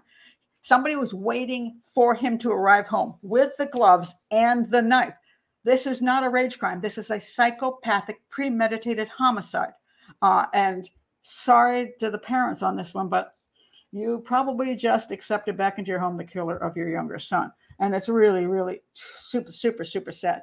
Heck. So, you know, Christine keeps saying alt and enter. It doesn't work. That's the problem. I'm not having it doesn't, it's absolutely not working. It's it's it's a it's a um it's something gone wrong with a um, StreamYard. Uh, and sometimes, you know, I've never had it happen before, but there's just no way I can fix it. um, now, some interesting questions that I can try to see. No, this is weird. They're, they, uh, and this is when the problem was any DNA found inside the gloves. You know, there doesn't seem to be a report on that. Now, I don't remember from way back when whether there was like so much information that it was there, but I don't know that it existed. But regardless who was wearing the gloves, they should have found DNA from somebody. But what's interesting about this whole case is they didn't find any DNA from anybody else um, coming into the scene and, and, committing these crimes. And so, you know, I look again at the totality of evidence. Pay attention to totality of evidence. Who is the most likely person to commit the crime under these circumstances? Who is going to be able to do what he did and then bury stuff in the backyard? I mean, that's the fact. Um, you know, and it, let's, let's see what else you said here. I literally thought about this case today. I mean, they found the murder weapon buried. Yeah. Um, and um, and did Zach have any wounds? Yes. Zach had a little uh, something on uh, a cut on his one finger. Um, yeah, really, nobody's going to bury the weapons in the backyard. If you've just killed, brutally killed a kid, then what you want to do is get the hell out of Dodge and you want to take that evidence home with you and uh, get rid of it someplace else you know you want to wash down the knife completely and you want to get you know hide that someplace else where the police are never going to find it you want to get rid of the gloves where your dna could not possibly be found on it the only reason you're going to get rid of the gloves and the knife is because they're yours and you can't go very far now, now some people say Well, he had all the time in the world. He could have gone elsewhere and gotten rid of them. Well, you know, you're right. But he's 15 and he's just brutally murdered his brother by stabbing him some hundred times. We're not talking about irrational teenage thinking. We're talking about a psychopathic teenager who has just done a horrific crime. So you can't really, you know, um, say rational when, when it comes down to this thing. Um, there's just literally nobody else who would do this crime. And there's nobody else who could have committed the crime in the amount of time with Zach being in the house. Zach is clearly lying about the that when he gets the phone call, he's clearly lying that, oh, I don't know if Greg's home. He doesn't call for Greg. He doesn't look for Greg. Um, nothing adds up with what Zach says. So we've got Zach not making sense. We've got the 911 call. Oh my God. Oh my God. I just came downstairs. Now, why does he keep saying, I just came downstairs? One of the things we always point out with um, statement analysis is the first thing you say is the most important. For him, the most important thing really is, I just came downstairs. He wants to prove that he's not involved in the crime. If he says he's already downstairs, then he could be, you know, people could say, well, did you kill him? But he says, no, I just came downstairs. And I always point out the word just is followed by a lie. It, amazing how many times this is true, but just often comes before often comes before a lie. So came downstairs is questionable. I just came downstairs. No, you could say, oh my God, oh my God, I came downstairs. But he doesn't say that. He says, I just came downstairs lie coming up. And my my belief is that he did not just come downstairs. Um, but he was downstairs when this all occurred. And I don't, you know, I think they pay the, the uh, defense team tries to place a lot of, uh, um, uh, they, they, they say that this, the proof of this whole case comes into the fact that when the, the 13 year old girl called Greg, that he answered, the, that Zach answered the phone upstairs the second time. And, you know, this is not evidence. This is an opinion from my 13 year old girl. I don't know exactly what she thought she heard or whether she remembered what she heard or whether she made up what she heard. I have no idea. I, I'm not saying she did anything on purpose, but, you know, sometimes you try to remember back and you remember what you remember or you misremember or somebody kind of encourages you to remember something in a different way than you remembered it. So it makes no sense to me. Now, if if she had said she called a second time and she believed he was upstairs, then Zach's commentary should match that. But what he says, he when he says he didn't he didn't know if Greg was even home is nonsense. And the fact that he supposedly hears then hangs up and hears a crash but doesn't hear any screaming, that makes no sense either. And then the fact that he would run downstairs to check out his brother tussling with a friend also makes no sense. And fourthly, is there, is there fourthly that if he heard that something going on in the hallway that he wouldn't have found the guy stabbing his brother just over in the laundry room 60 more times before he got out the back door to bury things in the backyard. None of Zach's story adds up. So I cannot, um, you know, apparently the defense team came. I, I, I rarely do defense work because most of the time the person is guilty. But you know, actually, I did this. You know, I'm trying to think how long I'd been a profiler. I did this pro bono because I cared about, you know, the family had lost their son and they called me up desperate saying, please, please, it analyzes crime. The prosecution is trying to accuse our other son. And I'm thinking, oh my God, poor parents.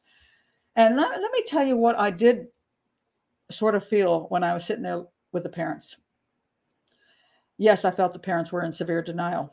And I also did from what they said, and I, you know I don't have this written down, but I just have this memory. And I say, for whatever reason, this memory stuck in my case, a few different things from so long ago, that Greg was the golden child. That there was something they kept saying that made me think that Greg was the one that was the cool kid, the kid who was cute, did everything, eh, was was great on his soccer team, and everything was good about Greg. But somehow I got a feeling that Zach wasn't he didn't live up to the expectations that they would like, especially the fathers. I think he did not live up. I think supposedly, from what I gather, the father was a bit of a nerd, and and actually, from what I gather, Zach was a bit of a nerd, and he wasn't that cool kid. And that when Greg came along, it was like, oh, here's the cool kid finally.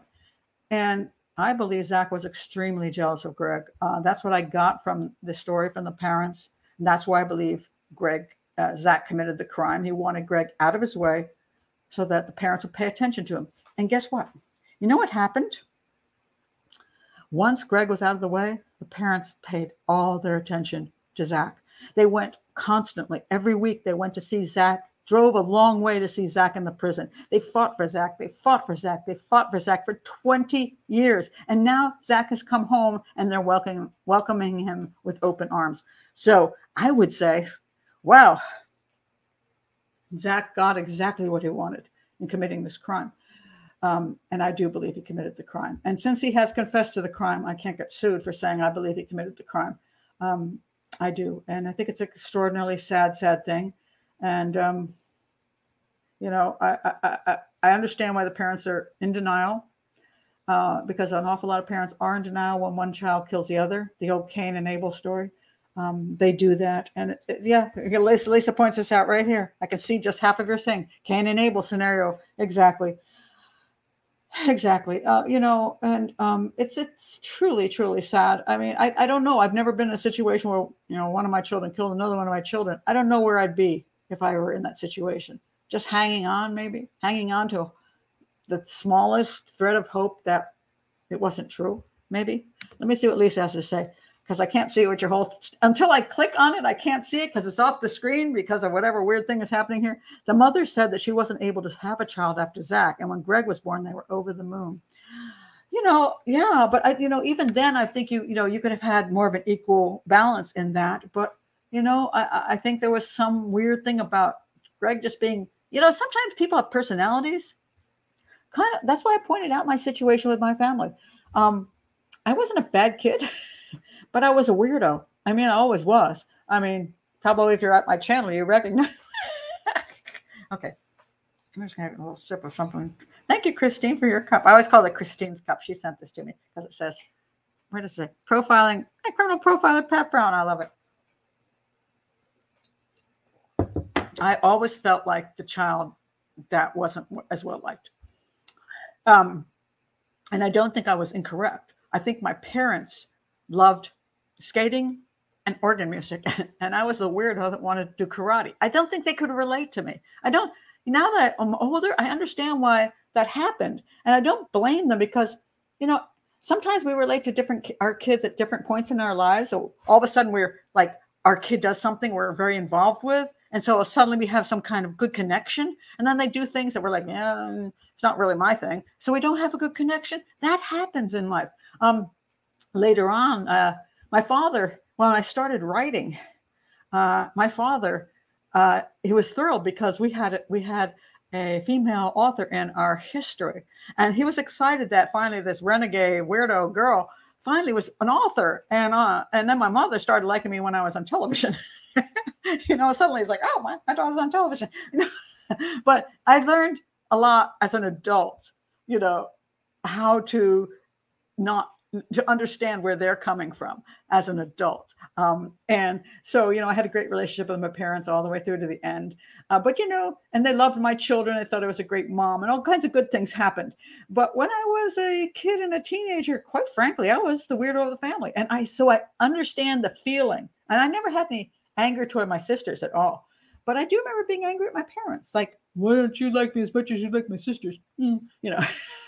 I had that feeling. So I understand where that comes from because, and it isn't necessarily that the parents are doing it on purpose. It's just that that one kid just clicks off, no, they checks off all their buttons. You know what I mean? It's just everything. That's not, I don't think it works. Checks off buttons. That's not the way it works. Checks off the list and pushes their buttons. I don't know. Um, but that maybe Greg just was that kid they liked his personality. He could do, he could play soccer well. He just did everything. So it made them excited. And then poor old Zach over here just wasn't getting the attention because they, they were loving him, but Greg was cooler, you know? So I, I just understand that's the way it is. Uh, as far as this goes, oh, that's a good point. Um, decapitation, decapitation is a personal crime. What do you say, Pat? The whole crime is very personal. I mean, I point this out a lot. Sometimes people will say, you know, a, a person was like stabbed a lot and therefore it's personal. Sometimes it's just a serial killer who gets off on stabbing a lot.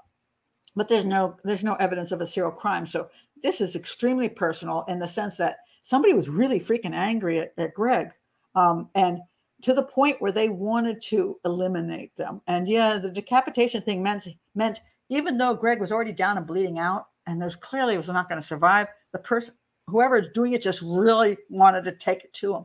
Um, it, it's hard to understand, but when you're in that kind of rage, that you have built up this rage. Now, some people say it's because I've heard rumors that supposedly Zach was involved in drugs and Greg was going to rat him out. Maybe true, maybe not. But there was a reason it came to that moment in time where he decided he wanted to eliminate his brother because his brother was causing him to be separated from his parents. Maybe he wanted to separate his heads because he was being separated from his parents, but that's a psychological weird thing they say. I don't go there. I just say that he probably just at that point was pretty enraged. And who knows if he was really trying to decapitate him or whether at that point when he was lying where he was, those the, the knife just cut in a row that just separated his head. I don't even know that was intentional. So, but does it? It takes a lot of energy. Yeah, well, it took me a lot of energy running around my house. Um, I don't see drugs being involved. No, no, no, no. I, listen, I know there were no drugs involved in the actual crime. I'm not saying that. I'm saying there were kids who claim that that Zach was into drugs in some way, way or form, and it was being, and Greg was going to relay that to his parents and rat him out.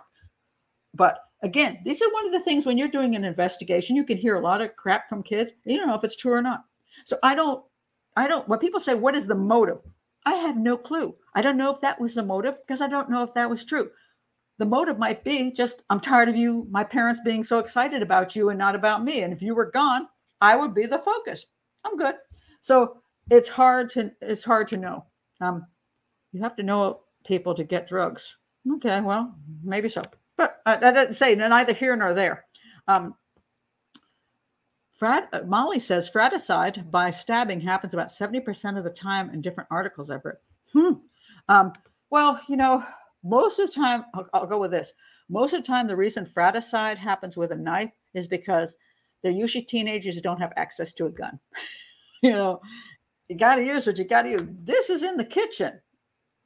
Gun probably is not. However, when you see mass murderers, you know who they where they get their weapons from. A lot of times, their parents leave their weapons unattended, which is why I always believe that if somebody takes your weapon and then shoots down the school, you ought to go to you ought to go to prison for life because you let that that psychopathic teen of yours access your weapons. Your weapons should be locked up. Um, but they, that's that they tend to find those. But yeah, most most kids. The problem is the parents probably don't have weapons, and this is in either now it's either in your kitchen or in this case, this kid liked knives. Uh, Zach liked knives. He had a lot of different knives, so small knives, uh, not big knives, um, but he had a lot of small knives.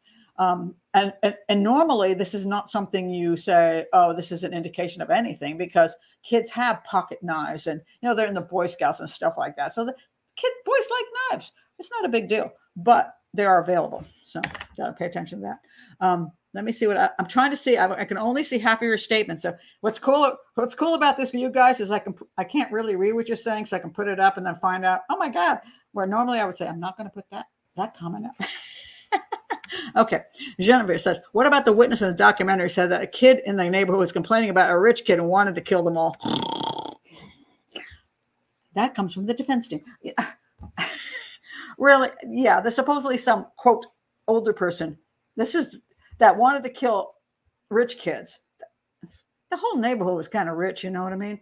Uh, when the parents came to me, it was it was often it was pointed out to me that it's possibly because they were Jewish, which is ridiculous. You know, I'm like, there's no evidence of anything because of because of your religion. I, I, I don't see that. You know, come on. Is so this is the kind of thing that the defense team dredges up to try to make it look like, oh my God, somebody was out to get somebody. No, there's no evidence of a stranger being in that house. There's no evidence that anybody but Zach was involved in the killing. So, I mean, we can come in and saying a whole bunch of stuff. What? Okay, let me see what this is. yeah, I'm, I'm 40 minutes into the documentary. Already the parents seem so sure that Zach couldn't hurt his brother. I mean, they have held on to this for 20 some years. I mean, and they were there, I say, in my house, sitting there and they said he couldn't have done this. And I'm looking at the photos. I'd already analyzed the case. I'm looking at the sick one. What do I tell these people? You know, because, you know, I don't want to tell them. Because it's interesting. When a person commits suicide, the family tends to want to believe it's murder. rather than suicide because they don't want to believe their child would do that to themselves. In other words, they feel guilt, like I didn't notice my child was that unhappy. So therefore, they couldn't have committed suicide. I prefer murder. So I don't know how many families have come to me to claim that their child did not commit suicide, that they were murdered, and almost always, occasional rare rare cases, that it almost always is suicide. Also, same thing with um, erotic asphyxiation, where a child, you or their son or daughter, mostly their sons, daughters pretty rare, but sons like hang themselves to get you know, to cut off the blood to their brain when they want to have sexual. Uh, they they usually have some porn available, and they want to have this extra added zing to their sex, the orgasm, and they're usually found hanging naked with porn next to them, and then their families are like, "Yeah, let's hide the porn and say he was murdered, even though he's naked." Um, uh, they then they'll sometimes they'll even go from erotic asphyxiation to suicide because they'd rather have suicide than erotic asphyxiation. So erotic asphyxiation. Oh no, no, no, no. Let's go to suicide. Oh no, no, no, no. Let's go to murder. Yeah, that'll work because murder is somebody else's fault. It isn't your fault. It isn't your child's fault. Accidents, the same thing. I, I did a whole thing. If you want to look at it, it's on the smiley face killers, where young men end up drowned um, there's never a sign of violence. Usually they've had a night of drinking or drugs and they end up in the, you know, somehow drowned. And people, the family wants to believe the children were murdered, not that the children did something really stupid and ended up drowning themselves. Because they, they don't want to, you know, you, you raise your child, you send them to college, they're doing really great, and then they end up drowned off a night of drinking. To be that, how could that happen? It's so, so horrible, so stupid, so like in a second, your child was gone because of stupidity. Okay, he was murdered because you don't want to admit that. I was talking with my son one day and he was like, Boy, I did some stupid things. I'm lucky I'm alive. I'm like, Yeah, probably, you know. But, you know, everybody does stupid things when they're teenagers and, and college students. And sometimes we're lucky we're not dead. But it doesn't make it murder. But parents don't want to admit it. So they go to murder. So murder is the thing they want to believe before they'll believe anything else. So, oh my God. Now I'll read that 911 transcript with new eyes. Yeah, I mean, I, I'm sorry I don't have the, I'm sorry I don't have a tape recorder. I really don't. But oh my God, I swear to God, this is what I remember. Oh my God. Oh my God. And I, it, it stuck in my head because it was so um, without emotions. It was so monotone. Oh my God. Oh my God. And I remember this as like the worst beginning of a I found my son, my my I'm sorry, I found my brother brutally murdered. Oh my God. Oh my God. And you know, maybe someone can say I'm misinterpreting that or misrepresenting that. That's what I remember. So when I find when I find a tape recorder, I will find out what's on this. But I, you know, that I would remember that for 20 years. And I don't, a lot of cases, I mean, I have a lot of cases in my files back here. And I, for God's sakes, do not remember. I'm like, I worked this case. Oh, oh, okay. What did I think? And sometimes the people ask me to review a case. Oh, can you do this for YouTube? I'm like thinking, I worked on that case. I do not remember what I thought about that because it has been 15, 20 years. And you have so many cases that they don't stick in your head. Uh, this one, for some reason, stuck in my head. The parents sitting there believing their child was innocent. That stuck in my head. What I said to them, I'm sorry, I could drive a Mack truck through your defense theory. That stuck in my head. The, oh my God, oh my God, stuck in my head for 20 years. And there has to be a reason for it. So um, Lisa says, Zach says his father, the, I'm sorry, his, Zach says his brother is all cut up. It's interesting choice of words. That is interesting. I don't know quite what it means, but it's interesting. Let's see what uh, let's see what else we have here. Just oh, wait a minute. I can't see what you're writing, so I'm just clicking on half half screen. It's in those documentary for those who want to hear it. Yes. Um, it's the I guess he's dead that gets me. Well, you know, I have to admit, the the 911 guy was an kind of an idiot because you know Zach was clearly saying that he was dead, and his throat was completely gashed open, and he couldn't possibly be breathing and the, the 911 operator saying, let me help you give him not give him, you know, CPR. What? the kid's throat is open. You don't give CPR to a person's throat is open. I mean, I don't know. That 911 operator needed to be fired. So that was a weird thing that just was pitiful, um, truly pitiful. He should have just simply said they're on their way. um, at that point. Can you? Is he breathing? No. Why do you think he's not breathing? Because his throat is completely cut open and and there's like a, a ton of blood and there's no way he's breathing. His eyes are fixed. Yeah, whatever. But to, to tell him to give him CPR was just the weirdest thing I've ever heard from a 911 operator. So in that condition, and I think he should have just been fired. So that was that was craziness, absolute craziness. Um, let me see. Okay, let's, I can't see anymore. Okay, that's my last comment that I can possibly see. Let's see if I do this, what happens? Oh, no, that's still not working. God, this is so annoying. I have absolutely, this is the weirdest screen I've ever seen, and it's never been this way before. So it's like, I'm afraid to touch anything because I'll just get knocked off completely. But anyway, I just, I hope you enjoyed that. Um, I, I wanted to show you a few more things, but I can't. Uh, but I think the, thank God I was able to get through the um, crime re- reconstruction because I think you can see from the crime reconstruction that crime can be committed in one minute. And people don't believe this. They think that things take a really long time. Oh, 100 stab wounds, that must have taken, you know, 10 minutes. Like, this is not the way people kill. How you feeling? How you feeling? How you feeling? That's not the way people are killed. They're killed this way. And if you even, let me just do this just out of curiosity. I'm gonna, I'm gonna redo uh, my stopwatch. Resetting. I'm just gonna do 50 stab wounds. Start. 1, 2, 3, 4, 5, 6, 7, 8, 9, 10, 11, 12, 13, 14, 15, 16, 17, 18, 19, 20, 21, 22, 23, 24, 25, 26, 27, 28, 29, 30, 31, 32, 33, 34, 35, 36, 37, 38, 39, 40, 41, 42, 43, 44, 45, 45, 46, 47, 48, 49, 50. 15 seconds. 15 seconds. Actually, I could kill, I could do 130 seconds, half a minute, I could stab 100 times, four times a second. That's how fast people can stab. Especially when they're, no, mind you, it's a small, tiny weapon. And a lot of the stab wounds weren't really deep, they were just the little things. So I can kill, I can do 100 stab wounds in 30 seconds. And and I added in running in through the house, extra time in between, bigger stab wounds, and I, I came up with just over a minute. So you can't tell me you can't do this in two or three minutes and have lots of time to take a breath, relax, and make a phone call to the police 911 and say, My brother, oh my God, oh my God, my brother. Um, and this is what people don't understand about crimes. They believe things that they don't know are true. And it's unfortunate. Um, so Janine says, I wasn't aware of this case. Thanks for doing the show. The sound reenactment was quite entertaining and informative. I'm going to have to look back and see what it sounded like because I'm like running through my house. yeah, so I'm not quite sure what that came out to be, but that, my whole point is that unless you've gone through all that and actually can and uh, can understand that, and that is one of the most misunderstood things: how quickly you can kill somebody.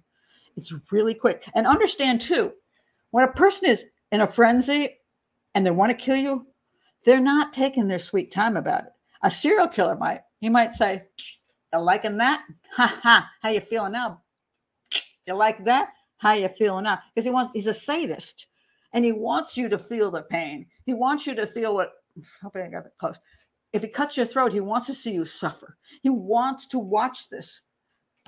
If you're in a frenzy because you just want to do do somebody in, you're not waiting for their response. You're just trying to kill them, kill them, kill them. And so it can go down very quickly. And people need to understand that. Oh, thank you, Anna. Remember to thumbs up. It helps the channel. Yes, it does.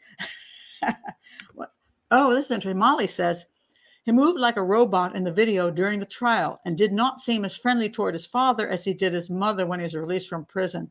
Interesting. I, you know, um, one of the things I love about having subscribers and pat- pat- patrons um, is a lot of people see things that I don't. Uh, and it's not because I'm an idiot like my haters would like to say, but just that I don't have the time to put in the extra time because I'm working on all the different cases and trying to explain many things and doing lots of research, but I don't have time to see everything. So I'm so thankful when you you can add to the conversation. Very interesting. Yes, I, I felt that. Uh, I felt the coldness from the father, and I felt an overcompensation from the mother. I did feel that. Um, I did.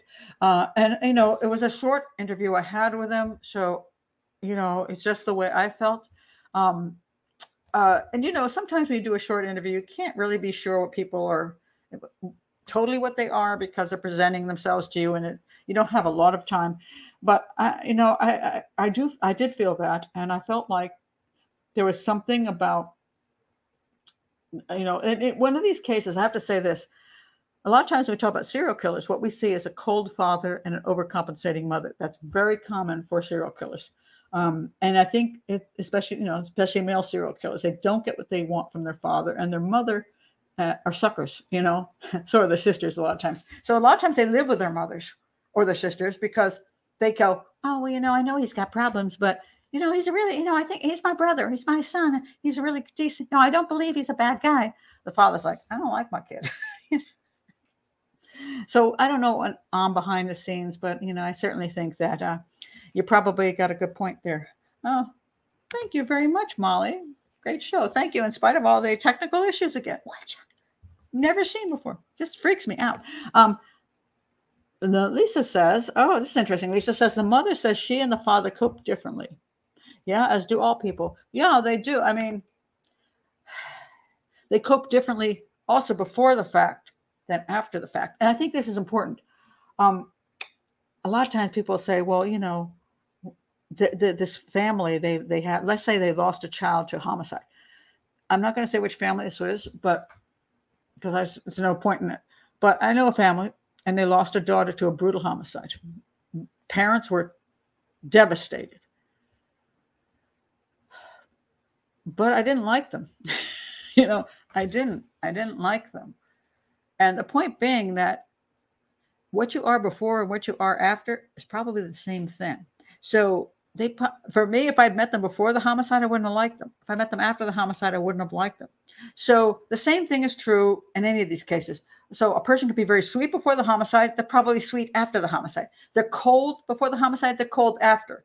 They don't cope well. They do. They don't cope well. In other words, you don't become a different person because of what happened to your child you take whatever you have into what happens to you. Um, so you don't become a different person. You are that person. You know, you don't you don't live 20, 30, 40 years as one person and then become a different person because your child is killed. You you still are the same person. So a lot of times people don't understand that that's the way it is. I mean, and so yeah, if they cope differently afterwards, they probably cope differently before as well. So Let's see. Uh, Lori said, "Hi, Pat. I almost missed you." Well, hey, it's a, it's a, it's it's it's uh, it's recorded, so you can come back and see me. Keep going. You'll grow. Well, thank you. Um, you know, I may not grow as as as strongly as some, but I hope that I can present to the people who are interested with the kind of material they want. That that's more important to me. Uh, so let's see what this is. Um, Lisa says, "I wonder if they blame themselves deep down inside." Um, I would say everybody knows who they are and how well and how they behave to some extent. But a lot of people are in denial again a denial before it happens and denial after it happens. So we don't see ourselves necessarily the way other people might see us or the way our kids might see us. You know there's nothing more humbling than when you you know you, your kids grow up and they say and then you did and you're like no i never did that. Um and sometimes the kids don't remember correctly either. So you know and I say that as a mother who says, You did not remember that correctly. but some things my kids say about me that I don't like are probably true. Because I'm not a perfect person. I wasn't a perfect mother. I thought I was a good mother. But I don't know that I was a perfect mother. And so there's probably things that they say, my mother did this. And I'm like, shit damn it. Yeah, okay, maybe I did do that. but I'm not going to admit it in front of your friends. you know, because I, as you see me now as a profiler, guess what? I was a mother for, I'm still a mother. I got, got three kids, but I raised my kids. I homeschooled my kids. I was home with my kids a lot. What you see here is what my kids saw.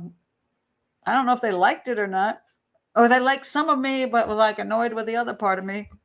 Same way you would be today. It's like, I really like Pat Brown, except for when she does. that's human beings.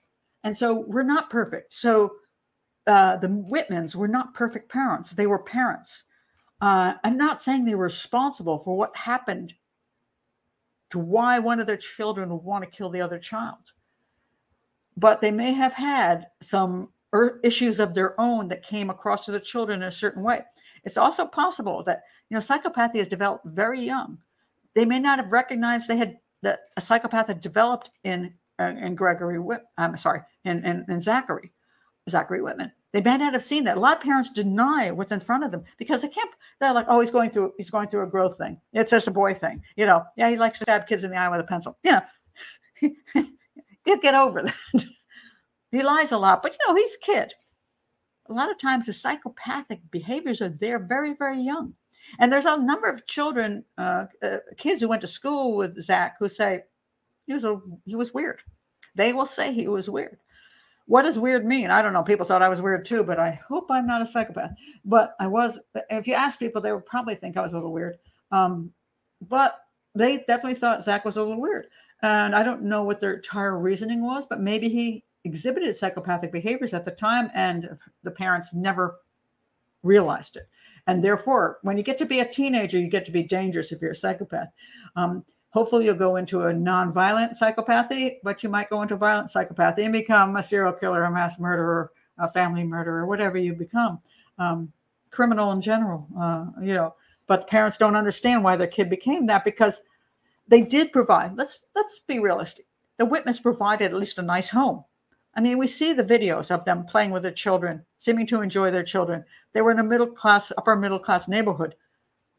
It's not a bad, it's not a bad home, but maybe whatever personality issues were there, whatever happened was just a bad mix and it ended up in a bad way. And so I'm not necessarily blaming the Witmans for, you know, what happened. Um, it's just, it's, it's unfortunate. Sometimes just really bad things happen. That's all you can say.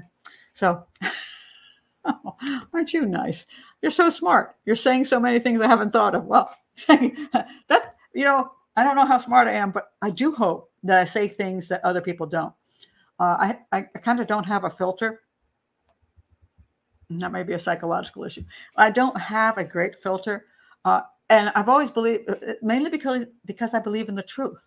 I like the truth. I like facts. I like being open uh, because I think that's how we learn. And if, and if I sit here and, oh my God, I don't want to piss anybody off. So I'm going to say, I really don't know. Could he be guilty or couldn't he be guilty? I don't know. Uh, I'm not going to talk too much because I'm a, I'm going to do a 15 minute show because if I say any more, mm, I might get in trouble. Okay. But I've always been this way. I've always believed in telling facts and I find facts interesting and I find discussion interesting. And so, yeah, I probably don't have a filter and that's why I like doing live because I can talk to you guys and you can talk back and I'm like, eh, you know, that's what's cool. And and as I point out many times, I'm 66 and I don't give a shit. So you know. I know I'm never going to work on it. I don't have to worry about working. I do. I would like to keep the channel going, so there is an issue with that. But you know, I can survive. You know, I can survive. Um, Fast Doreen says, fascinating show, Pat. Thank you. I'm surprised I've never heard of the story since it's semi-local. You know why, Doreen?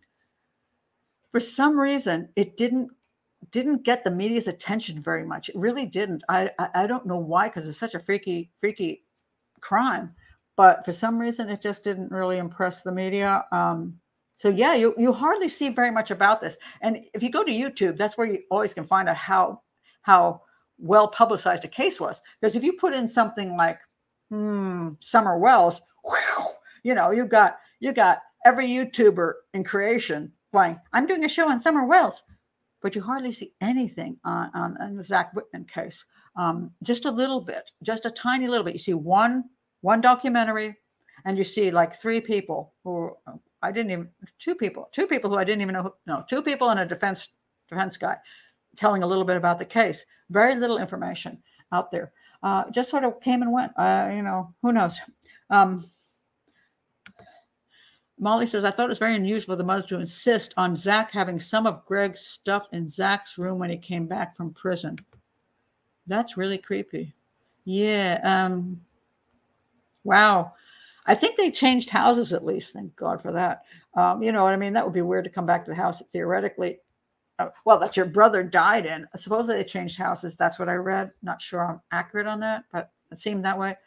But they would move some of Greg's things into his room. I don't know if that's again their way of den- den- denial that oh, we know you didn't kill Greg. That's why we will that we know you want to connect with things that are Greg. That may be denial. That's what I'm going to guess. Lori says live is more fun than watching after. Yeah, you know, I like to do live uh, more than any anything else. I mean, myself, I like to do live because you just don't know what's going to happen. When I do uh, recorded stuff, I feel much more constrained uh, because I have to get it done and it has to be, you know. And you're not here. Nobody's here. I'm just talking to the camera. So I really, really like having people here. Carrie says, very persuasive. I learned so much. Zach is a psychopath okay, as a criminal profiler and not a psychiatrist who has had Zach, uh, Zach in my office, I cannot say he's a psychopath. What I can say is that it is very unusual for a non psychopath to commit a violent crime like this. Um, people like to believe there's a thing called, like, uh, you know, crime of passion. He lost his mind in three seconds flat. Nobody, I mean, you know, I've been annoyed at my sisters, but I never thought of picking up a knife and stabbing them a hundred times. And I certainly didn't think of it as a premeditated thing. Like when my do- my sister comes home, you know, I'm going to be waiting behind the door. I'm going to get her. What the heck? I, the thought of even stabbing somebody is beyond me. I just I can't fathom that. Um, I don't even think I pitched my sisters. I was a very very nonviolent human being, but I didn't even pinch. So I'm like I can't imagine standing there thinking I'm going to stab my sibling to death. That requires psychopathy. So if Zach committed the crime, I'm going to say Zach would then be likely a psychopath. That's as far as I can go. Lori says I'm 63. oh my God. Jess says that's why it's important to do crime scene reconstructions. Absolutely, because you learn so much from that. Um, and and I really believe it's very important in many, many crimes to do that because you can really see how things go down. And a lot of times people just talk about it. They don't actually know that it's true or not. They just talk about it. Let's see what else we have. Dr. Phil said, What? Oh, wait a minute. Wait a minute. I got. Yes, I know. Dr. Phil had Summer Wells' parents on Thursday and Friday. And you know, I have no love for Dr. Phil. So it can still be an interesting show just because you're looking at what Summer Wells' parents have said just not fond of Dr. Phil. What can I say? Okay, I'm going to try to see what I can. Oh, okay, let's see. Yes, they change houses. Thank you, Molly. I, I believe they did. I thought that was uh, when I was looking at the show, the part where I had, thought I had read that they changed houses, and when I was looking at Ms., Mrs. Witman supposedly carrying Zach over that dog gate, I'm like, that doesn't look like the same, the same setup there. The the the, the um, wallpaper looked different and, and the and the dining table was different so i'm like that can't be the same house so yes i i, I believe they had moved houses but i just sometimes when i do this show i kind of lose my mind as far as what i remember is true or not true that's that's why i need you guys here you know because you can help me you know remember things that i don't remember at all um and so you know sometimes somebody will come in later and go you were wrong about that and i'm like yeah probably you know it's a lot of information to take in in a very short period of time and to relay. And sometimes you just kind of miss a thing or two, shall we say. So, any rate, um, so I'm sorry about all the technical difficulties. I'm glad whoever's here stayed through those, and I'm assuming I will never see this again, and I'll probably never know what happened. And I, I don't even know how to stop. yeah, this is weird. I don't even know how to end the show because oh, this is this is wait a minute. the whole the whole normal framework is gone. So you usually hit end the show. There's no end the show. I have no idea what screen I'm on. It's the freakiest thing ever. uh, wait a minute. There are allegations Dr. Phil allowed something behind the scenes that led to Candace Wells getting very emotional on camera. Oh my God. Well, since I don't trust Dr. Phil as far as I can throw him, and I've seen his behavior behind the behind the behind the scenes and because he edited me out of his show and then stole my stuff which i can prove um, i don't trust what he does behind the scenes because i think that's unfair there's a lot of things you know like people say for example oh you know talk shows never pay people to be on well they don't pay experts they just give you a you know they just want you to come out for you know, they give you a plane ride and a hotel, and a lot of times they don't even pay you per diem for eating. It's like, yeah, you you're going to pay me, um, but a lot of times they don't want to do that for the experts. But and they say they don't do that for the guests, but you can never be sure that's the truth because they might say, oh, we don't pay guests to come out. But we're going to give them a thousand dollar a day per diem, and they're going to be here for three days. So we're going to give them three thousand dollars. so in other words, their per diem is extremely high, where uh, uh, experts per diem is non-existent. So they will pay people if they want them on, um, and they will also manipulate people, and they will do whatever they do before they get on the show, and then they will do whatever they do after they're on the show with editing. So never believe exactly what you see. So. Uh, Dorian says, Of course, you mean the whole show is disgusting. I, am not going to agree with that, but I'm also not going to disagree. Okay. Molly says, Pad, you have to keep going. Uh-huh. I'm trying. I'm trying. Lori says, You have me look at Dr. Phil differently. Thank you. Yeah. Uh, you know, it's it's frustrating because on one hand, there's a lot of shows out there that get a lot of interesting, people, you know, discussions, they get interesting interviews, and I do benefit from some of those. But I have a really hard time sometimes supporting the ethics or the non the non ethics behind the show. That that's so tough for me. Um, because I I'm a big ethics person, and I'm no perfect person, but there's some things I'm just like that's just wrong. You should not be doing that. And television will do whatever they want to do to support their agenda, support getting getting uh, sales or whatever they're trying to do they will do. And so you can't, that's why you have to be very careful when you, like, even like what I was pointing out with the 911 call here, they edited it. And all I looked and looked on like YouTube, like, somebody's got to have the full thing here. Oh my God. Oh my God. Where is it? And it wasn't in existence. So why did, why was that edited out?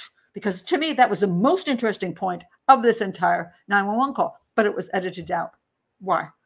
So it's not that they didn't present something that was accurate in the sense that they presented part of this 911 call, saying it was a very long 911 call, so we could only put up part of it. But they picked the part. So that re- requires a determination, a decision to what part you want to present. And they'll just say that's what we did. And so they're not technically being unethical. But on the other hand, they may be being unethical, you know, so it's hard to say. Um, thanks for the show, and I hope no cats were during the reenactment. Anybody who knows, I got the evil cat Ziggy, and no, Ziggy, Ziggy, Ziggy is st- still alive. I better watch his butt. I love cats. I do. I love my Ziggy. Okay. Lisa says, "Oh, thanks for a great show, Pat. This is why I'm a proud Patreon. Pat never disappoints. Thank you, Lisa. That's so kind. I mean, you know, it's one of the things that keeps me going because I, you know, I, I, I want to educate. I want to present things to people so they can really understand the reality of things because so many shows, so many shows are just telling a cool story. So many shows just they're representing, I don't know, they're making money off of true crime. Um, and I would really like to be able for people to understand how things work. And I've, I've been amazed over all my years in television. I kept trying to do that, and you know, I got some of it done, but a lot of times I was constricted by how long I was allowed to talk or by the editing process. So I couldn't get across what I'd like to get across. So, hey, thank you, YouTube, until you knocked me off completely off the air. uh, let's see what Joe says. Is Oprah the reason why Dr. Phil's on television? And if so, is it too late to sue her? You know, I don't know what it is about Oprah, but I think she also got Dr. Oz on, which is another questionable character, in my opinion. Uh, I I don't know whether she personally picks the people or it's a whole thing done with the networks. Uh, she also has had a number of authors on with with books that are complete pack of lies, like uh, what's that? A million little pieces. That was a complete lie. I mean, she's. I don't know that she's got. Uh, I don't know. I don't know whether she's naive or she knows what she's doing or she's got. You know, I don't know. I, I can't say what I know why she's picking the people she does to support, but I haven't been overly fond of the people she's picked to support. So there you go. Lori says, money, money, money. You know, there's a truth to that. Um, let's see. What, what is that? Boxing, lots of. Wait a minute, I missed that. I don't know what that was about because I can't see half of this. There is always news to report on Summer Wells because Don won't stop getting wasted and seeking attention from all the channels that want new material. You know, and there's a there is a there is a point to that.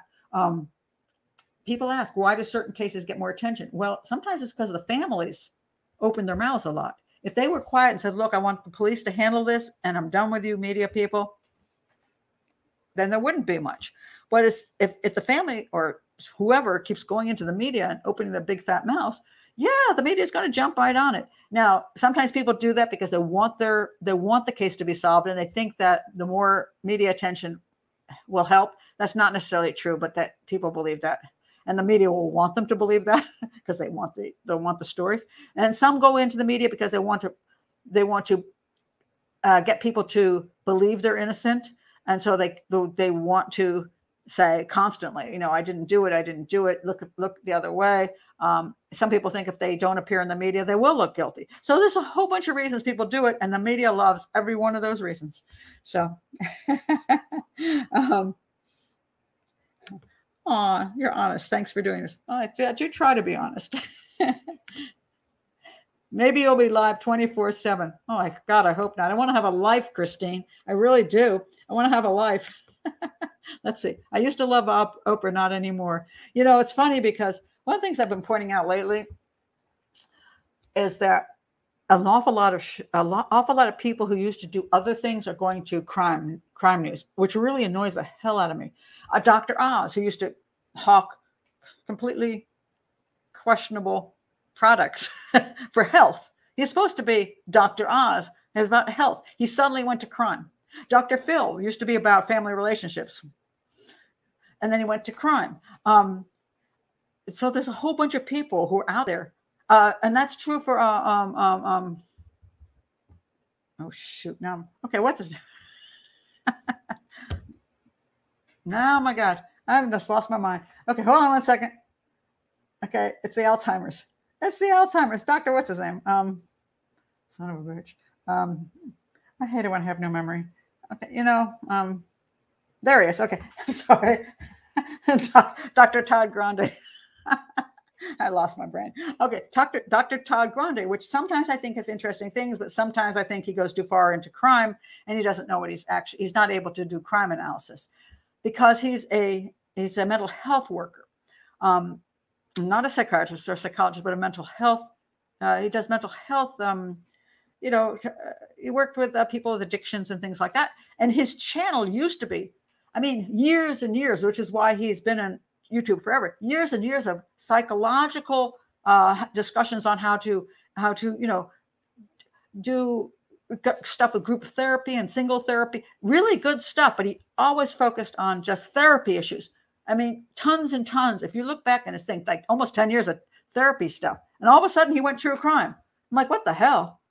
Because you're not a crime analyst. You're not a detective. You're not a profiler.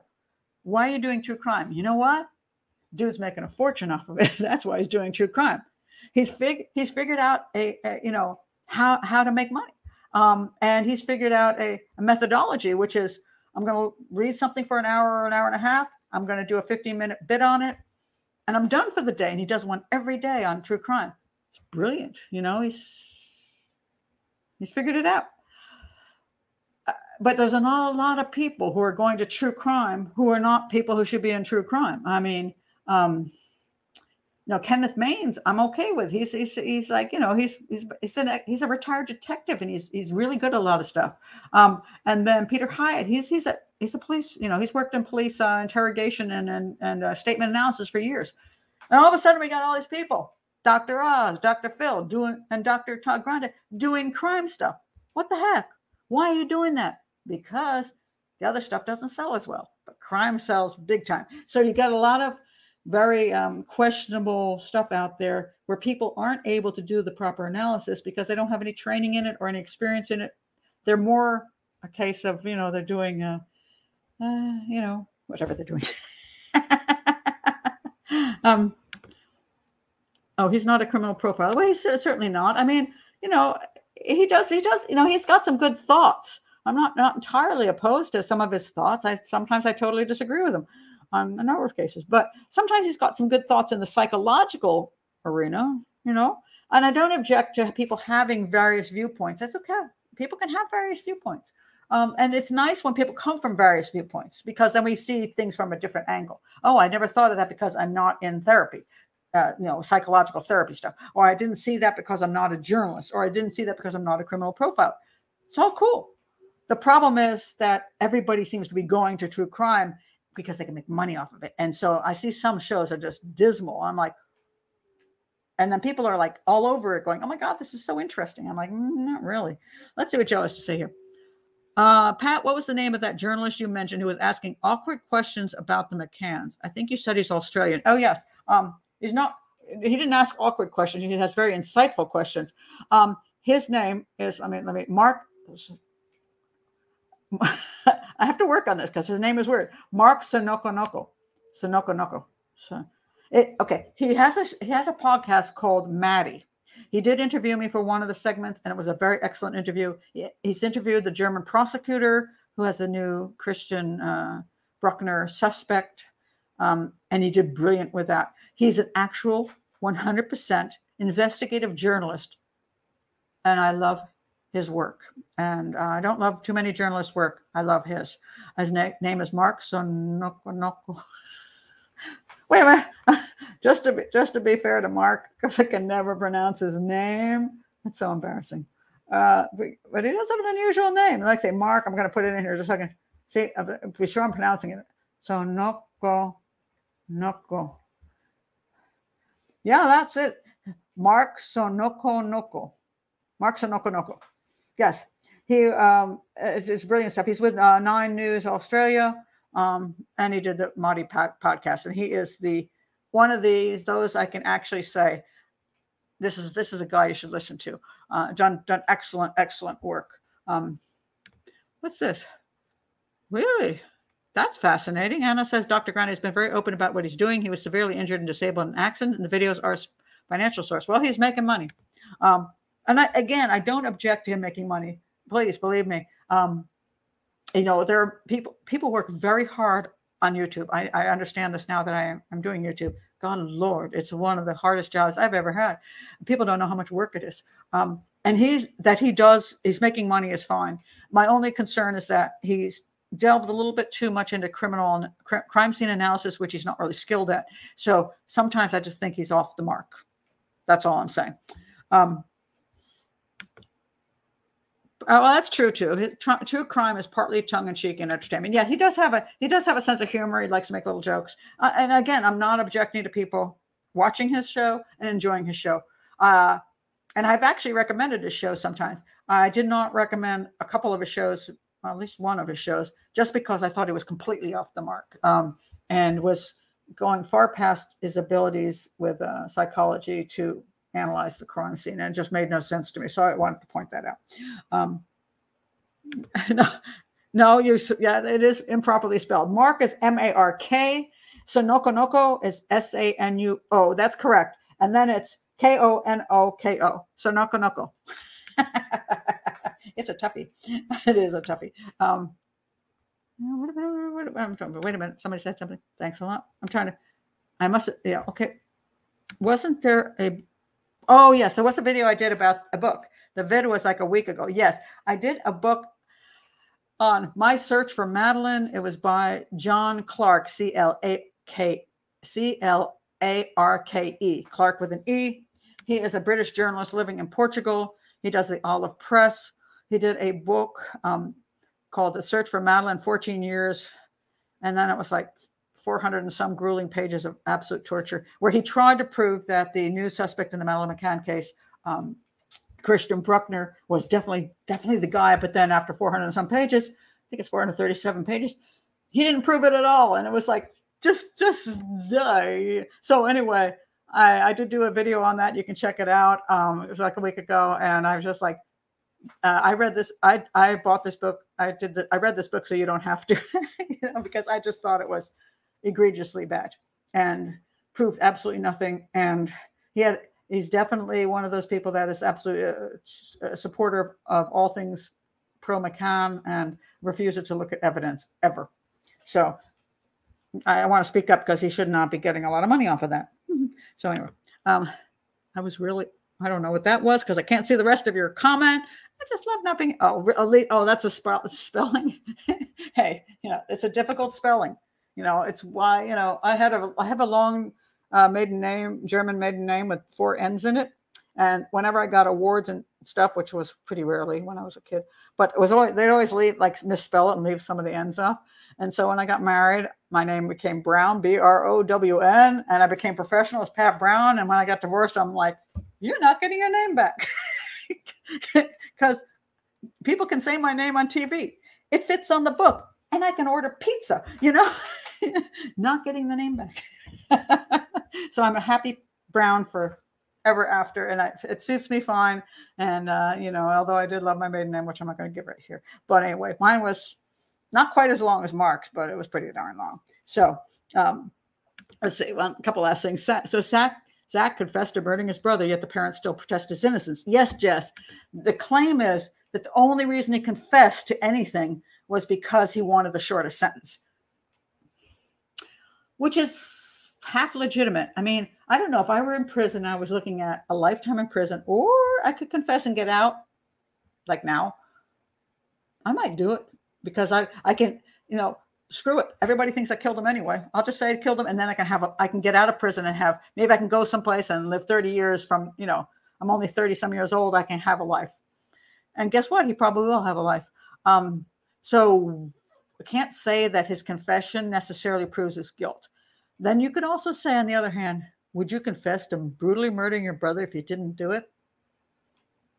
Now, if it were me, I would never confess to that if I didn't do it. That just that's just me. I'll spend the rest of my life in prison. But maybe I'm an idiot. Maybe I should say, you know, I don't give a crap what anybody else thinks. I'm going to get the hell out of here. So there you go. Um, didn't you say that the McCann book is doing very badly, not selling? It's it's not doing well, Joe. Um, but you know, he self-published it, so he doesn't have a big support thing behind him for advertising. It is getting some sales. It's just not doing great. I think he's going over a lot of ground that nobody really cares about, quite frankly, because most of it's about him and him and him and about him and his work and how he how he interviewed here and he went here and he went here and he went there. And so, if somebody really wants to prove that the McCanns are innocent and that that this Christian Bruckner is guilty, they might read the book. So I'm sure he's got a number of people who will read the book, but it, it's self-pubbed and uh, probably hasn't got a great deal of press. Although he did get a few a, a few stories. So it hasn't been selling well, but then, you know, I've had books that tanked too. So I can't say it's because he didn't write a good book and it tanked, but I'm just saying he didn't write a good book. So there you go. Um, and I don't you I don't do reviews, anti-reviews on books very often. I mean, I don't like to do I don't like to trash people's work, but when I see something that is complete nonsense, I, I kind of have an issue with it. So there you go. Um, let's see this was great. I hope you're talking about the show, but not that book. But I can't see half of the missed messages. Uh, Lori says, I wouldn't survive in prison, so I'm very well, you know, okay, I did it. Whoever you said I killed, I dang well killed them. I killed them all. Yes, I did. Whatever you say, if it gets me out of here. oh, you're late again. What? what? okay, I'm just going to laugh at this. I'm late again and started at the beginning, so not sure what part you're on right now. But I just got to the part about Dr. Phil and the Wells. Not sure if he paid them, but he bought bought new teeth for Candus. I have no idea if that's true, but again, there's a lot of stuff that goes on behind these shows that people don't realize goes on. And if they want what they want, you know, they can say they don't pay guests, but then they can change the name of the guest and call them a, uh, oh, let's say they could call them a collaborator. okay, we don't pay guests, but we pay collaborators. Like I think the um, uh, uh, uh, uh um, Anthony's, I think they got money. So I don't know what they called them when they gave them a contract of some sort. So you can call it, you can change a name and then say we don't pay guests, but the collaborator would pay $10,000, $20,000, $50,000 to. If they think they're going to make a crap load of money off of a off of a show, they'll find ways to do it. And the reason they don't pay experts very much or not at all is because they always know they can get another expert. And quite frankly, experts aren't as important as people think they are. It's like, yeah, somebody might like to see me, but if I ask for, oh my God, you know how many times this has happened? They call me up and say, okay, we want you to do this documentary. Uh, we're going to fly you to whatever location. It's going to take three days out of my life. You're going to do four hours in the studio, which is usually torture. It's not, it's not much fun to do these things. Believe me, I'm telling you, just sitting there, being able, having to repeat things over and over again so they can get a proper edit on it is is really tedious. And then nobody wants to eat dinner with you, so you end up going out dinner by yourself, and then you go back to your your sad little hotel room by yourself. It's not exactly fun. So, and then you say, "How much you paying me?" And they go, "Oh, well, we don't pay. You know, we, you know, we'll give you." The, I'm like, I don't want to work for three days and and and suffer the the, the, the you know flying these days and staying in a boring hotel. I mean, why would I want to do that for no money? Oh, because um, it'll get you publicity. And then when I say no, I won't do it for no money, they they dump me in a heartbeat and find somebody else because there's always somebody else. So rarely, unless I'm so specifically involved in a case or so know more than anybody else, they can dump me in a heartbeat and find somebody else to do it for free. So that's that's the reality of TV. It's lovely. So anyway, what does he say here? Did he use that as a sweetener to get her on the show? Maybe, you know. Did you ever say the McCanns are guilty? Never, never, Lori. I never said the McCanns are guilty. I said uh, the evidence, the evidence supports there is no proof of abduction, and that much of the evidence points to the McCanns not being honest, and points to McCanns' possible involvement in what happened to Maddie. That's how I, that's how I presented it. uh, not always interested in truth. It's about the views. Yes, it is. I mean, it's you know, it's very unfortunate, and I wish we'd stop. You know, you know, I understand. I mean, it's like me. I mean, people say, "Well, why do you even have money to support the channel?" Well, you know, because it's a frick load of work, and I'm not doing other work that's that I earn money from. And yeah, I'm. You know, it's not like I never want to work again in my life uh, because I'm 66, but my mother lived to 93. So, you know, I got a lot of years. yeah, I'd like to keep working. And if I'm not doing this work and I'm doing this work, it would be nice to have enough money to support the channel so I'm not like totally taking a to- complete dive. So I get why you know a television show wants to wants to be successful. It's going to pay its people. It wants to go back on air again. I understand that. So everybody's got a multiple multiple motive thing. But then there comes the point where we have to be honorable too. And if honorable costs us 50% of the income, so it does. You know, um, I don't think it should cost us 100% of the income. I prefer not. But if it costs us a 50%, I'm good with that because I prefer earning a living but being honorable at the same time. That's just my thoughts. But what is this? A wealth reported that a wealthy woman paid 5000 for Candus's teeth. Hmm. Hello, wealthy woman. Can you help me out here? I'm kind of, you know, they're not as good as they used to be. Um, not sure, Jess. She refused to let them in the upstairs of the house and let them in only the downstairs and had the dungeon cleaned up to look like a halfway normal kid for the. Oh, you're talking about the Summer Wells case. Holy crap almighty. Um, you know, here that's a really interesting point on the Summer Wells case. You know, we're far into the show and a lot of people have left, and that's okay. Um, but if you haven't left yet, do remember to, because I'm not going to show the end of this show because I don't even know how to end this show because my screen is gone.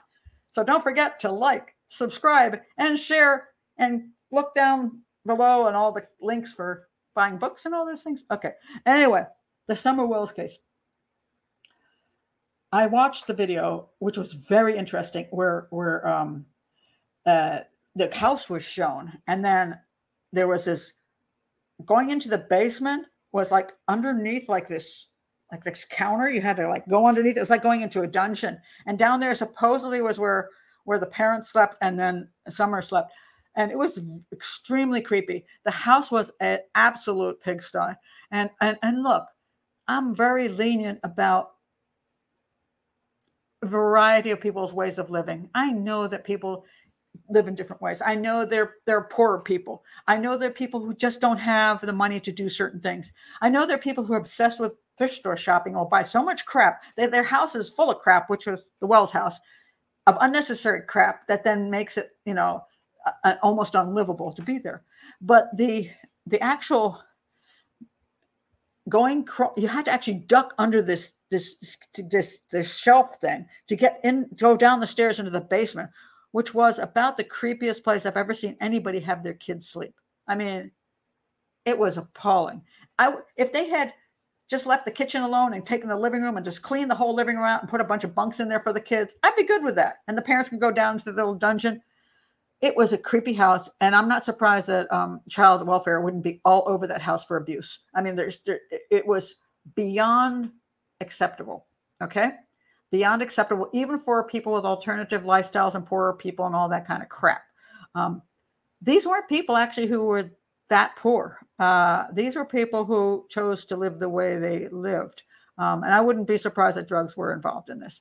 Um, I don't mean drugs involved in what happened to Summer. I mean just drugs as a part part of possible one or both parents' ways of living. Um, but it was pretty appalling. So the fact that parent, uh, you know, the mother would even uh, take, you know, Summer's mom would even take them. Like, it wasn't. it was on a YouTube show, so I'll give him cr- the guy credit for that. I forget his name, but anyway, he, he got them to take them down to the basement. And I'm like, you know, and it was kind of scary, kind of scary stuff. And that doesn't again mean that they did something to Summer or somebody did something to Summer that was connected to the house, but it did show that the that what was happening in the house was concerning, and that that's one of the reasons the police are looking at uh, not the I know somebody in the family as being su- suspect in what happened to Summer Wells. So, anyway, that's just my comment on that. Pat, I love your analysis and your live shows. Just wanted to say your theme music is perfect. It really gets me going for the show. Well, you can think, you know, it's funny, Russell, you say that. My son, my son found that and put that together for me because I have no ability. And uh, somebody else told them that that was the one thing they hated about the show because it like like was too loud and obnoxious and it gave them a headache. you can't no matter what you do you can't quite win. And and the person who said that i like them very much. So uh, you know uh, i probably will not change it because i don't really have the energy to do so. So lori says summer's mom knows something. Very very concerning yes. Um, the theme tune gets the theme tune gets me pumped too oh okay cool i'm just going to leave it there because i mean it's it's it's there and i i like it myself i think my son did a good job um, but what, what? Oh, this uh, Laurie says. Oh, yes, the children were taken out. That's correct. They were um, because there were great concerns about the welfare of the children in that house. There should have been great concerns about the welfare of the children way before, but you know, um, and I don't know how much was. You know, here's here's another problem which I just want to bring up. And sometimes people say, why don't they social services pull the children out way earlier when when when they go to the house and go, Jesus God Almighty, what in the Mm. You know why? Because they got a lot of houses like that. There's you, it, you go to so many places and it's so bad that you're like, I can't. We can't take all these children out of their houses. Where are they going to go? We're gonna. We can't find foster homes for all these kids, and pulling away from their home maybe make their life worse. So unless we know that the kids are like really being brutalized or murdered, we're kind of probably just going to have to let them stay there, and we're going to work with the family that's why they do that because it, it the alternative is so difficult. Um, people don't people say, well, I don't know why they. Yeah, that's why because because sometimes you don't have an alternative. Um, same thing is true with the police when when uh, people come in and say, you know, my my mommy did this to me, my mommy hit me, my son, my my my my father hit me. A lot of times it's just whiny whiny te- teenagers, and even if it isn't a whiny teenager, maybe the parent did hit them. Maybe it's because the kid was a brat head, and the police are sitting there going, look, we get if you're in child uh, protect uh, child abuse and uh, child abuse detective, you may get this constantly, and you can't put everybody in prison. You can't arrest everybody and then have to try to prove the kid is telling the truth. So unless it's really egregious, you kind of go, well, you know, just stop pissing your parent off. People think that social services and the police can can move in legally and do all these incredible things and they just can't. They don't have the money. They don't have the time. They don't have they don't have the backup services. They don't have the foster places. They don't have the proof. They don't have a million things. So unless something is horrific, a lot of times they just go, "Well, the kids are watching television, so we're just going to let it go. They're eating they're eating popcorn. They're still alive." and that's the way it works. Life is not perfect for everybody. And children are born into situations which, you know, we wish they weren't born into. Um, they're sad situations. They're not perfect, but you know, a lot of kids have grown up in imperfect situations and turned out to be great people. So you know, life is life. And so unless the, unless life crosses the line where it is something clearly illegal, you often can't do as much about it as you think people could do about it. I mean, when you come right down to it, you know, that's what families for. That's what communities for to try to stop these things and not have to bring in, you know, the big guns. Um, but you know, schools try, families try, uh, community does try, but sometimes you just can't. You can't win them all. You know what I mean? You can't always do something. I mean, I've been in situations where I've tried to inter- intervene and hasn't gone well. You know, and that, that's not as professional. That's just as a human being, and hasn't necessarily gone well. You know, so there you go. And uh, Jess says the Cleo Smith case was a rarity and there's still more to come out. Yeah, they're talking right now about a woman being involved. That Cleo Smith, a little girl who went missing in Australia out of her tent, um, and then is found with this creepy dude who likes dolls. Um, now they say there's a woman who came every day to the house and and and clothed and helped her dress and cleaned her up and did her hair and all that stuff. So then I'm like, what the heck is this woman's thing? So uh, it's hard to know whether it's a couple who was involved in something. Now there's that they were like into like playing house or whatever. Um, some people will say there's more connected to the family, but I won't go there because I don't have any evidence that this is true at this point. And so let's let the police take care of that. And it either is going to be what it is, or the police will come out eventually and say, oh, well, there's more to this. But we don't know. And I, I think it's unnecessary to go there on based on rumors. And there's a lot of rumors going around the internet, and I have no clue whether any of those things are true um, at all. So that's what I don't want to go there um, because we don't know. Let's see. I can't see how. Uh, I don't know what that is. Um, uh, I, I, don't know. Uh, some of these things I, I, I don't know. And, um, you know, it's, it's hard to say, you know, in this particular Cleo Smith case, how the guy glommed onto Cleo and how he knew they were going camping and how he ended up at the campsite. Because clearly it seemed to be premeditated. So if he was just at the campsite and grabbed her, but you know, again, he might have been. Maybe the dude just hangs out at campsites and he saw Cleo and he went for her. So we don't know that yet. Or did he follow them? And how would he know to follow them? Would he know they're going someplace? There's a lot of questions. So it's like, how did he get that child? And what what what's going on here? It's a very freaky case, um, and very very much an anomaly. And it may always be an anomaly. You know, maybe just one of those things. Sometimes weird stuff happens because people are weird. You know? And then we try to make it into something normal when it's nothing normal about it. You know, it's like dude was weird and he had a dude a friend who was weird too, and they decided to do this weird thing. Maybe. And maybe the family has not a clue about anything. Or maybe there's more to it. But we're gonna have to just be um you know, patient and and accept whatever is there. He says parents are involved. Can't prove it yet. and then it says, what are the chances the woman who cleaned and groomed Cleo Smith is an alter ego of the man who is accused? Maybe he's a one-man family. wow. Hey, that's an interesting one. I have not heard that one before, but it was like Norman Bates, you know, pretended he was his mother. Could that be true? Maybe. But you know, I kind of think it's this. I think the guy he likes dolls and he got a living doll. But you know, the problem with living dolls is that they're not, they're alive, you know, they cry, they whine, they poop, they smell bad, their hair gets messed up. You know, those those little dolls you get in a package, and he kept most of them in a package. They don't get disturbed. They're like perfect and they don't complain and they don't have any needs. But then you get the little live doll, dang it, that that that thing, that thing, you got to take care of that thing. So maybe he did enlist somebody to take care of her, or maybe again there were a couple together that he had this fantasy and she had a fantasy of having a child. I have no idea. I don't know how any of this went down. Makes uh, it's a very peculiar thing.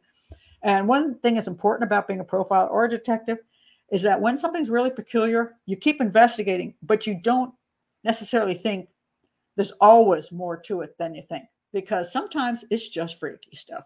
There, some people are just freaky. That's all there is to it. They're freaky. And I've been in this business long enough to go, that's a new one on me. Never seen that before. And yeah, there, yep, there it is. There it is. So, but don't post your lives on social media. Huh? I, I post my lives all over social media. I have no idea why I shouldn't do that, Jess.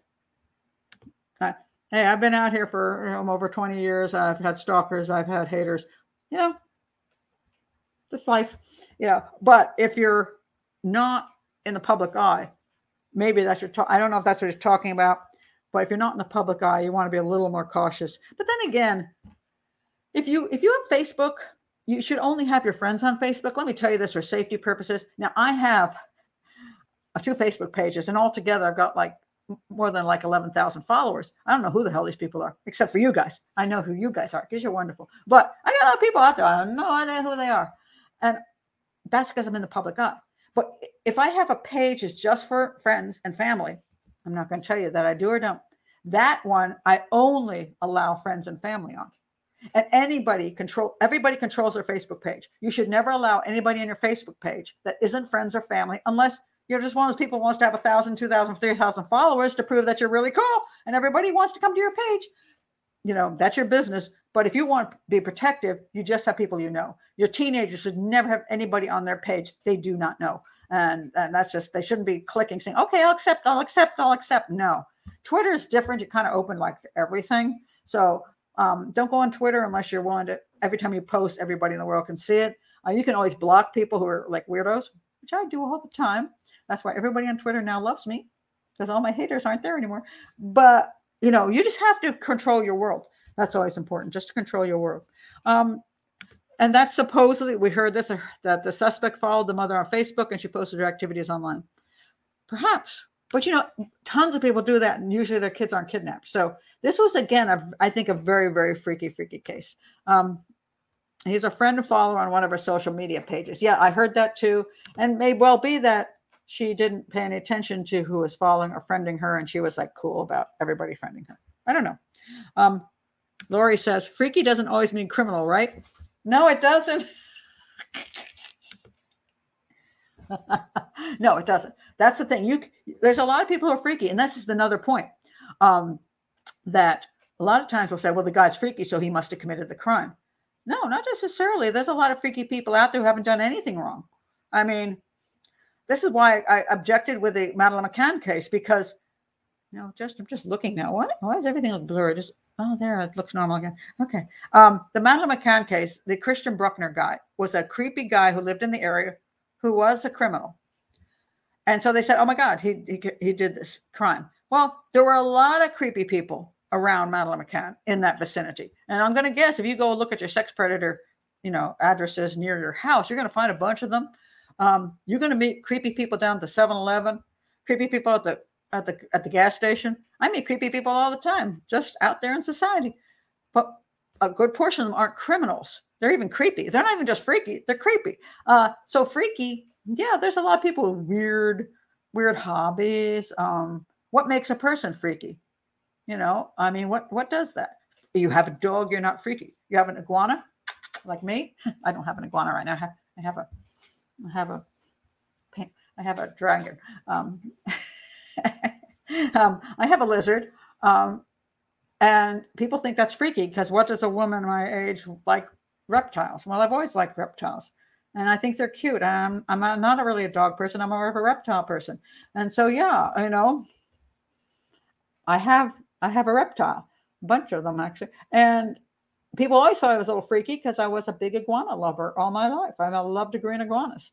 And does that mean I'm, I'm, I'm a strange enough person to kidnap children?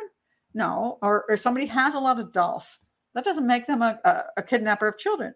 So you can be freaky and you can be creepy, but doesn't make you necessarily criminal. So I think that's a good question because when you're a detective and you're looking or, or profiling, looking at people, you have to say, okay, if they're super freaky or criminal in a certain way, I may want to check into them just because that may have moved over into criminality. But on the other hand, it doesn't make them a criminal. So let me not just rush off to saying they're criminal when I have no proof that they are. So one has to be careful about that.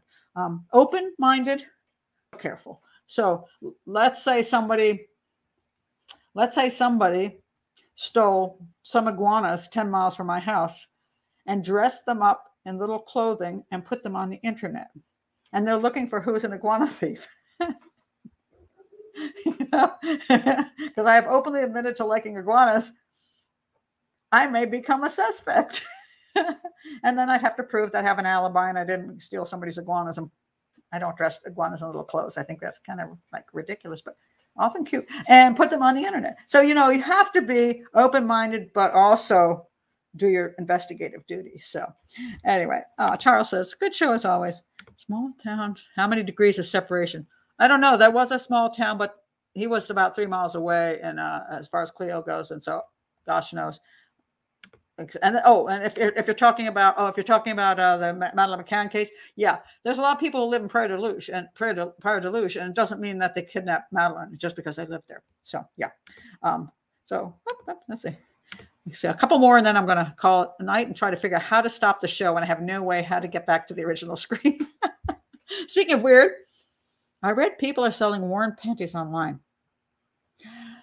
Do you think this might function as a step closer to an actual assault in those who will go on to offend? Well, Kelly, I think it's the women who are selling the, the panties. They're basically like porn actresses in the sense that they are selling sex to people who are obsessed with certain things. Um, so, yes, they do sell those, and they are sold to men who obviously have issues, very big issues that they would buy this kind of uh, item online. And I'd be more worried about the men. The woman is just taking advantage of dudes who have issues. But the dudes who have issues who want to buy this, then you wonder whether they they cross into peeping tomism or stealing because because one thing that often goes from peeping tom to the next level is that peeping tom will then go into the house of the women and steal their underwear. That's that's not unusual. So is this a is this part of a peeping tom thing?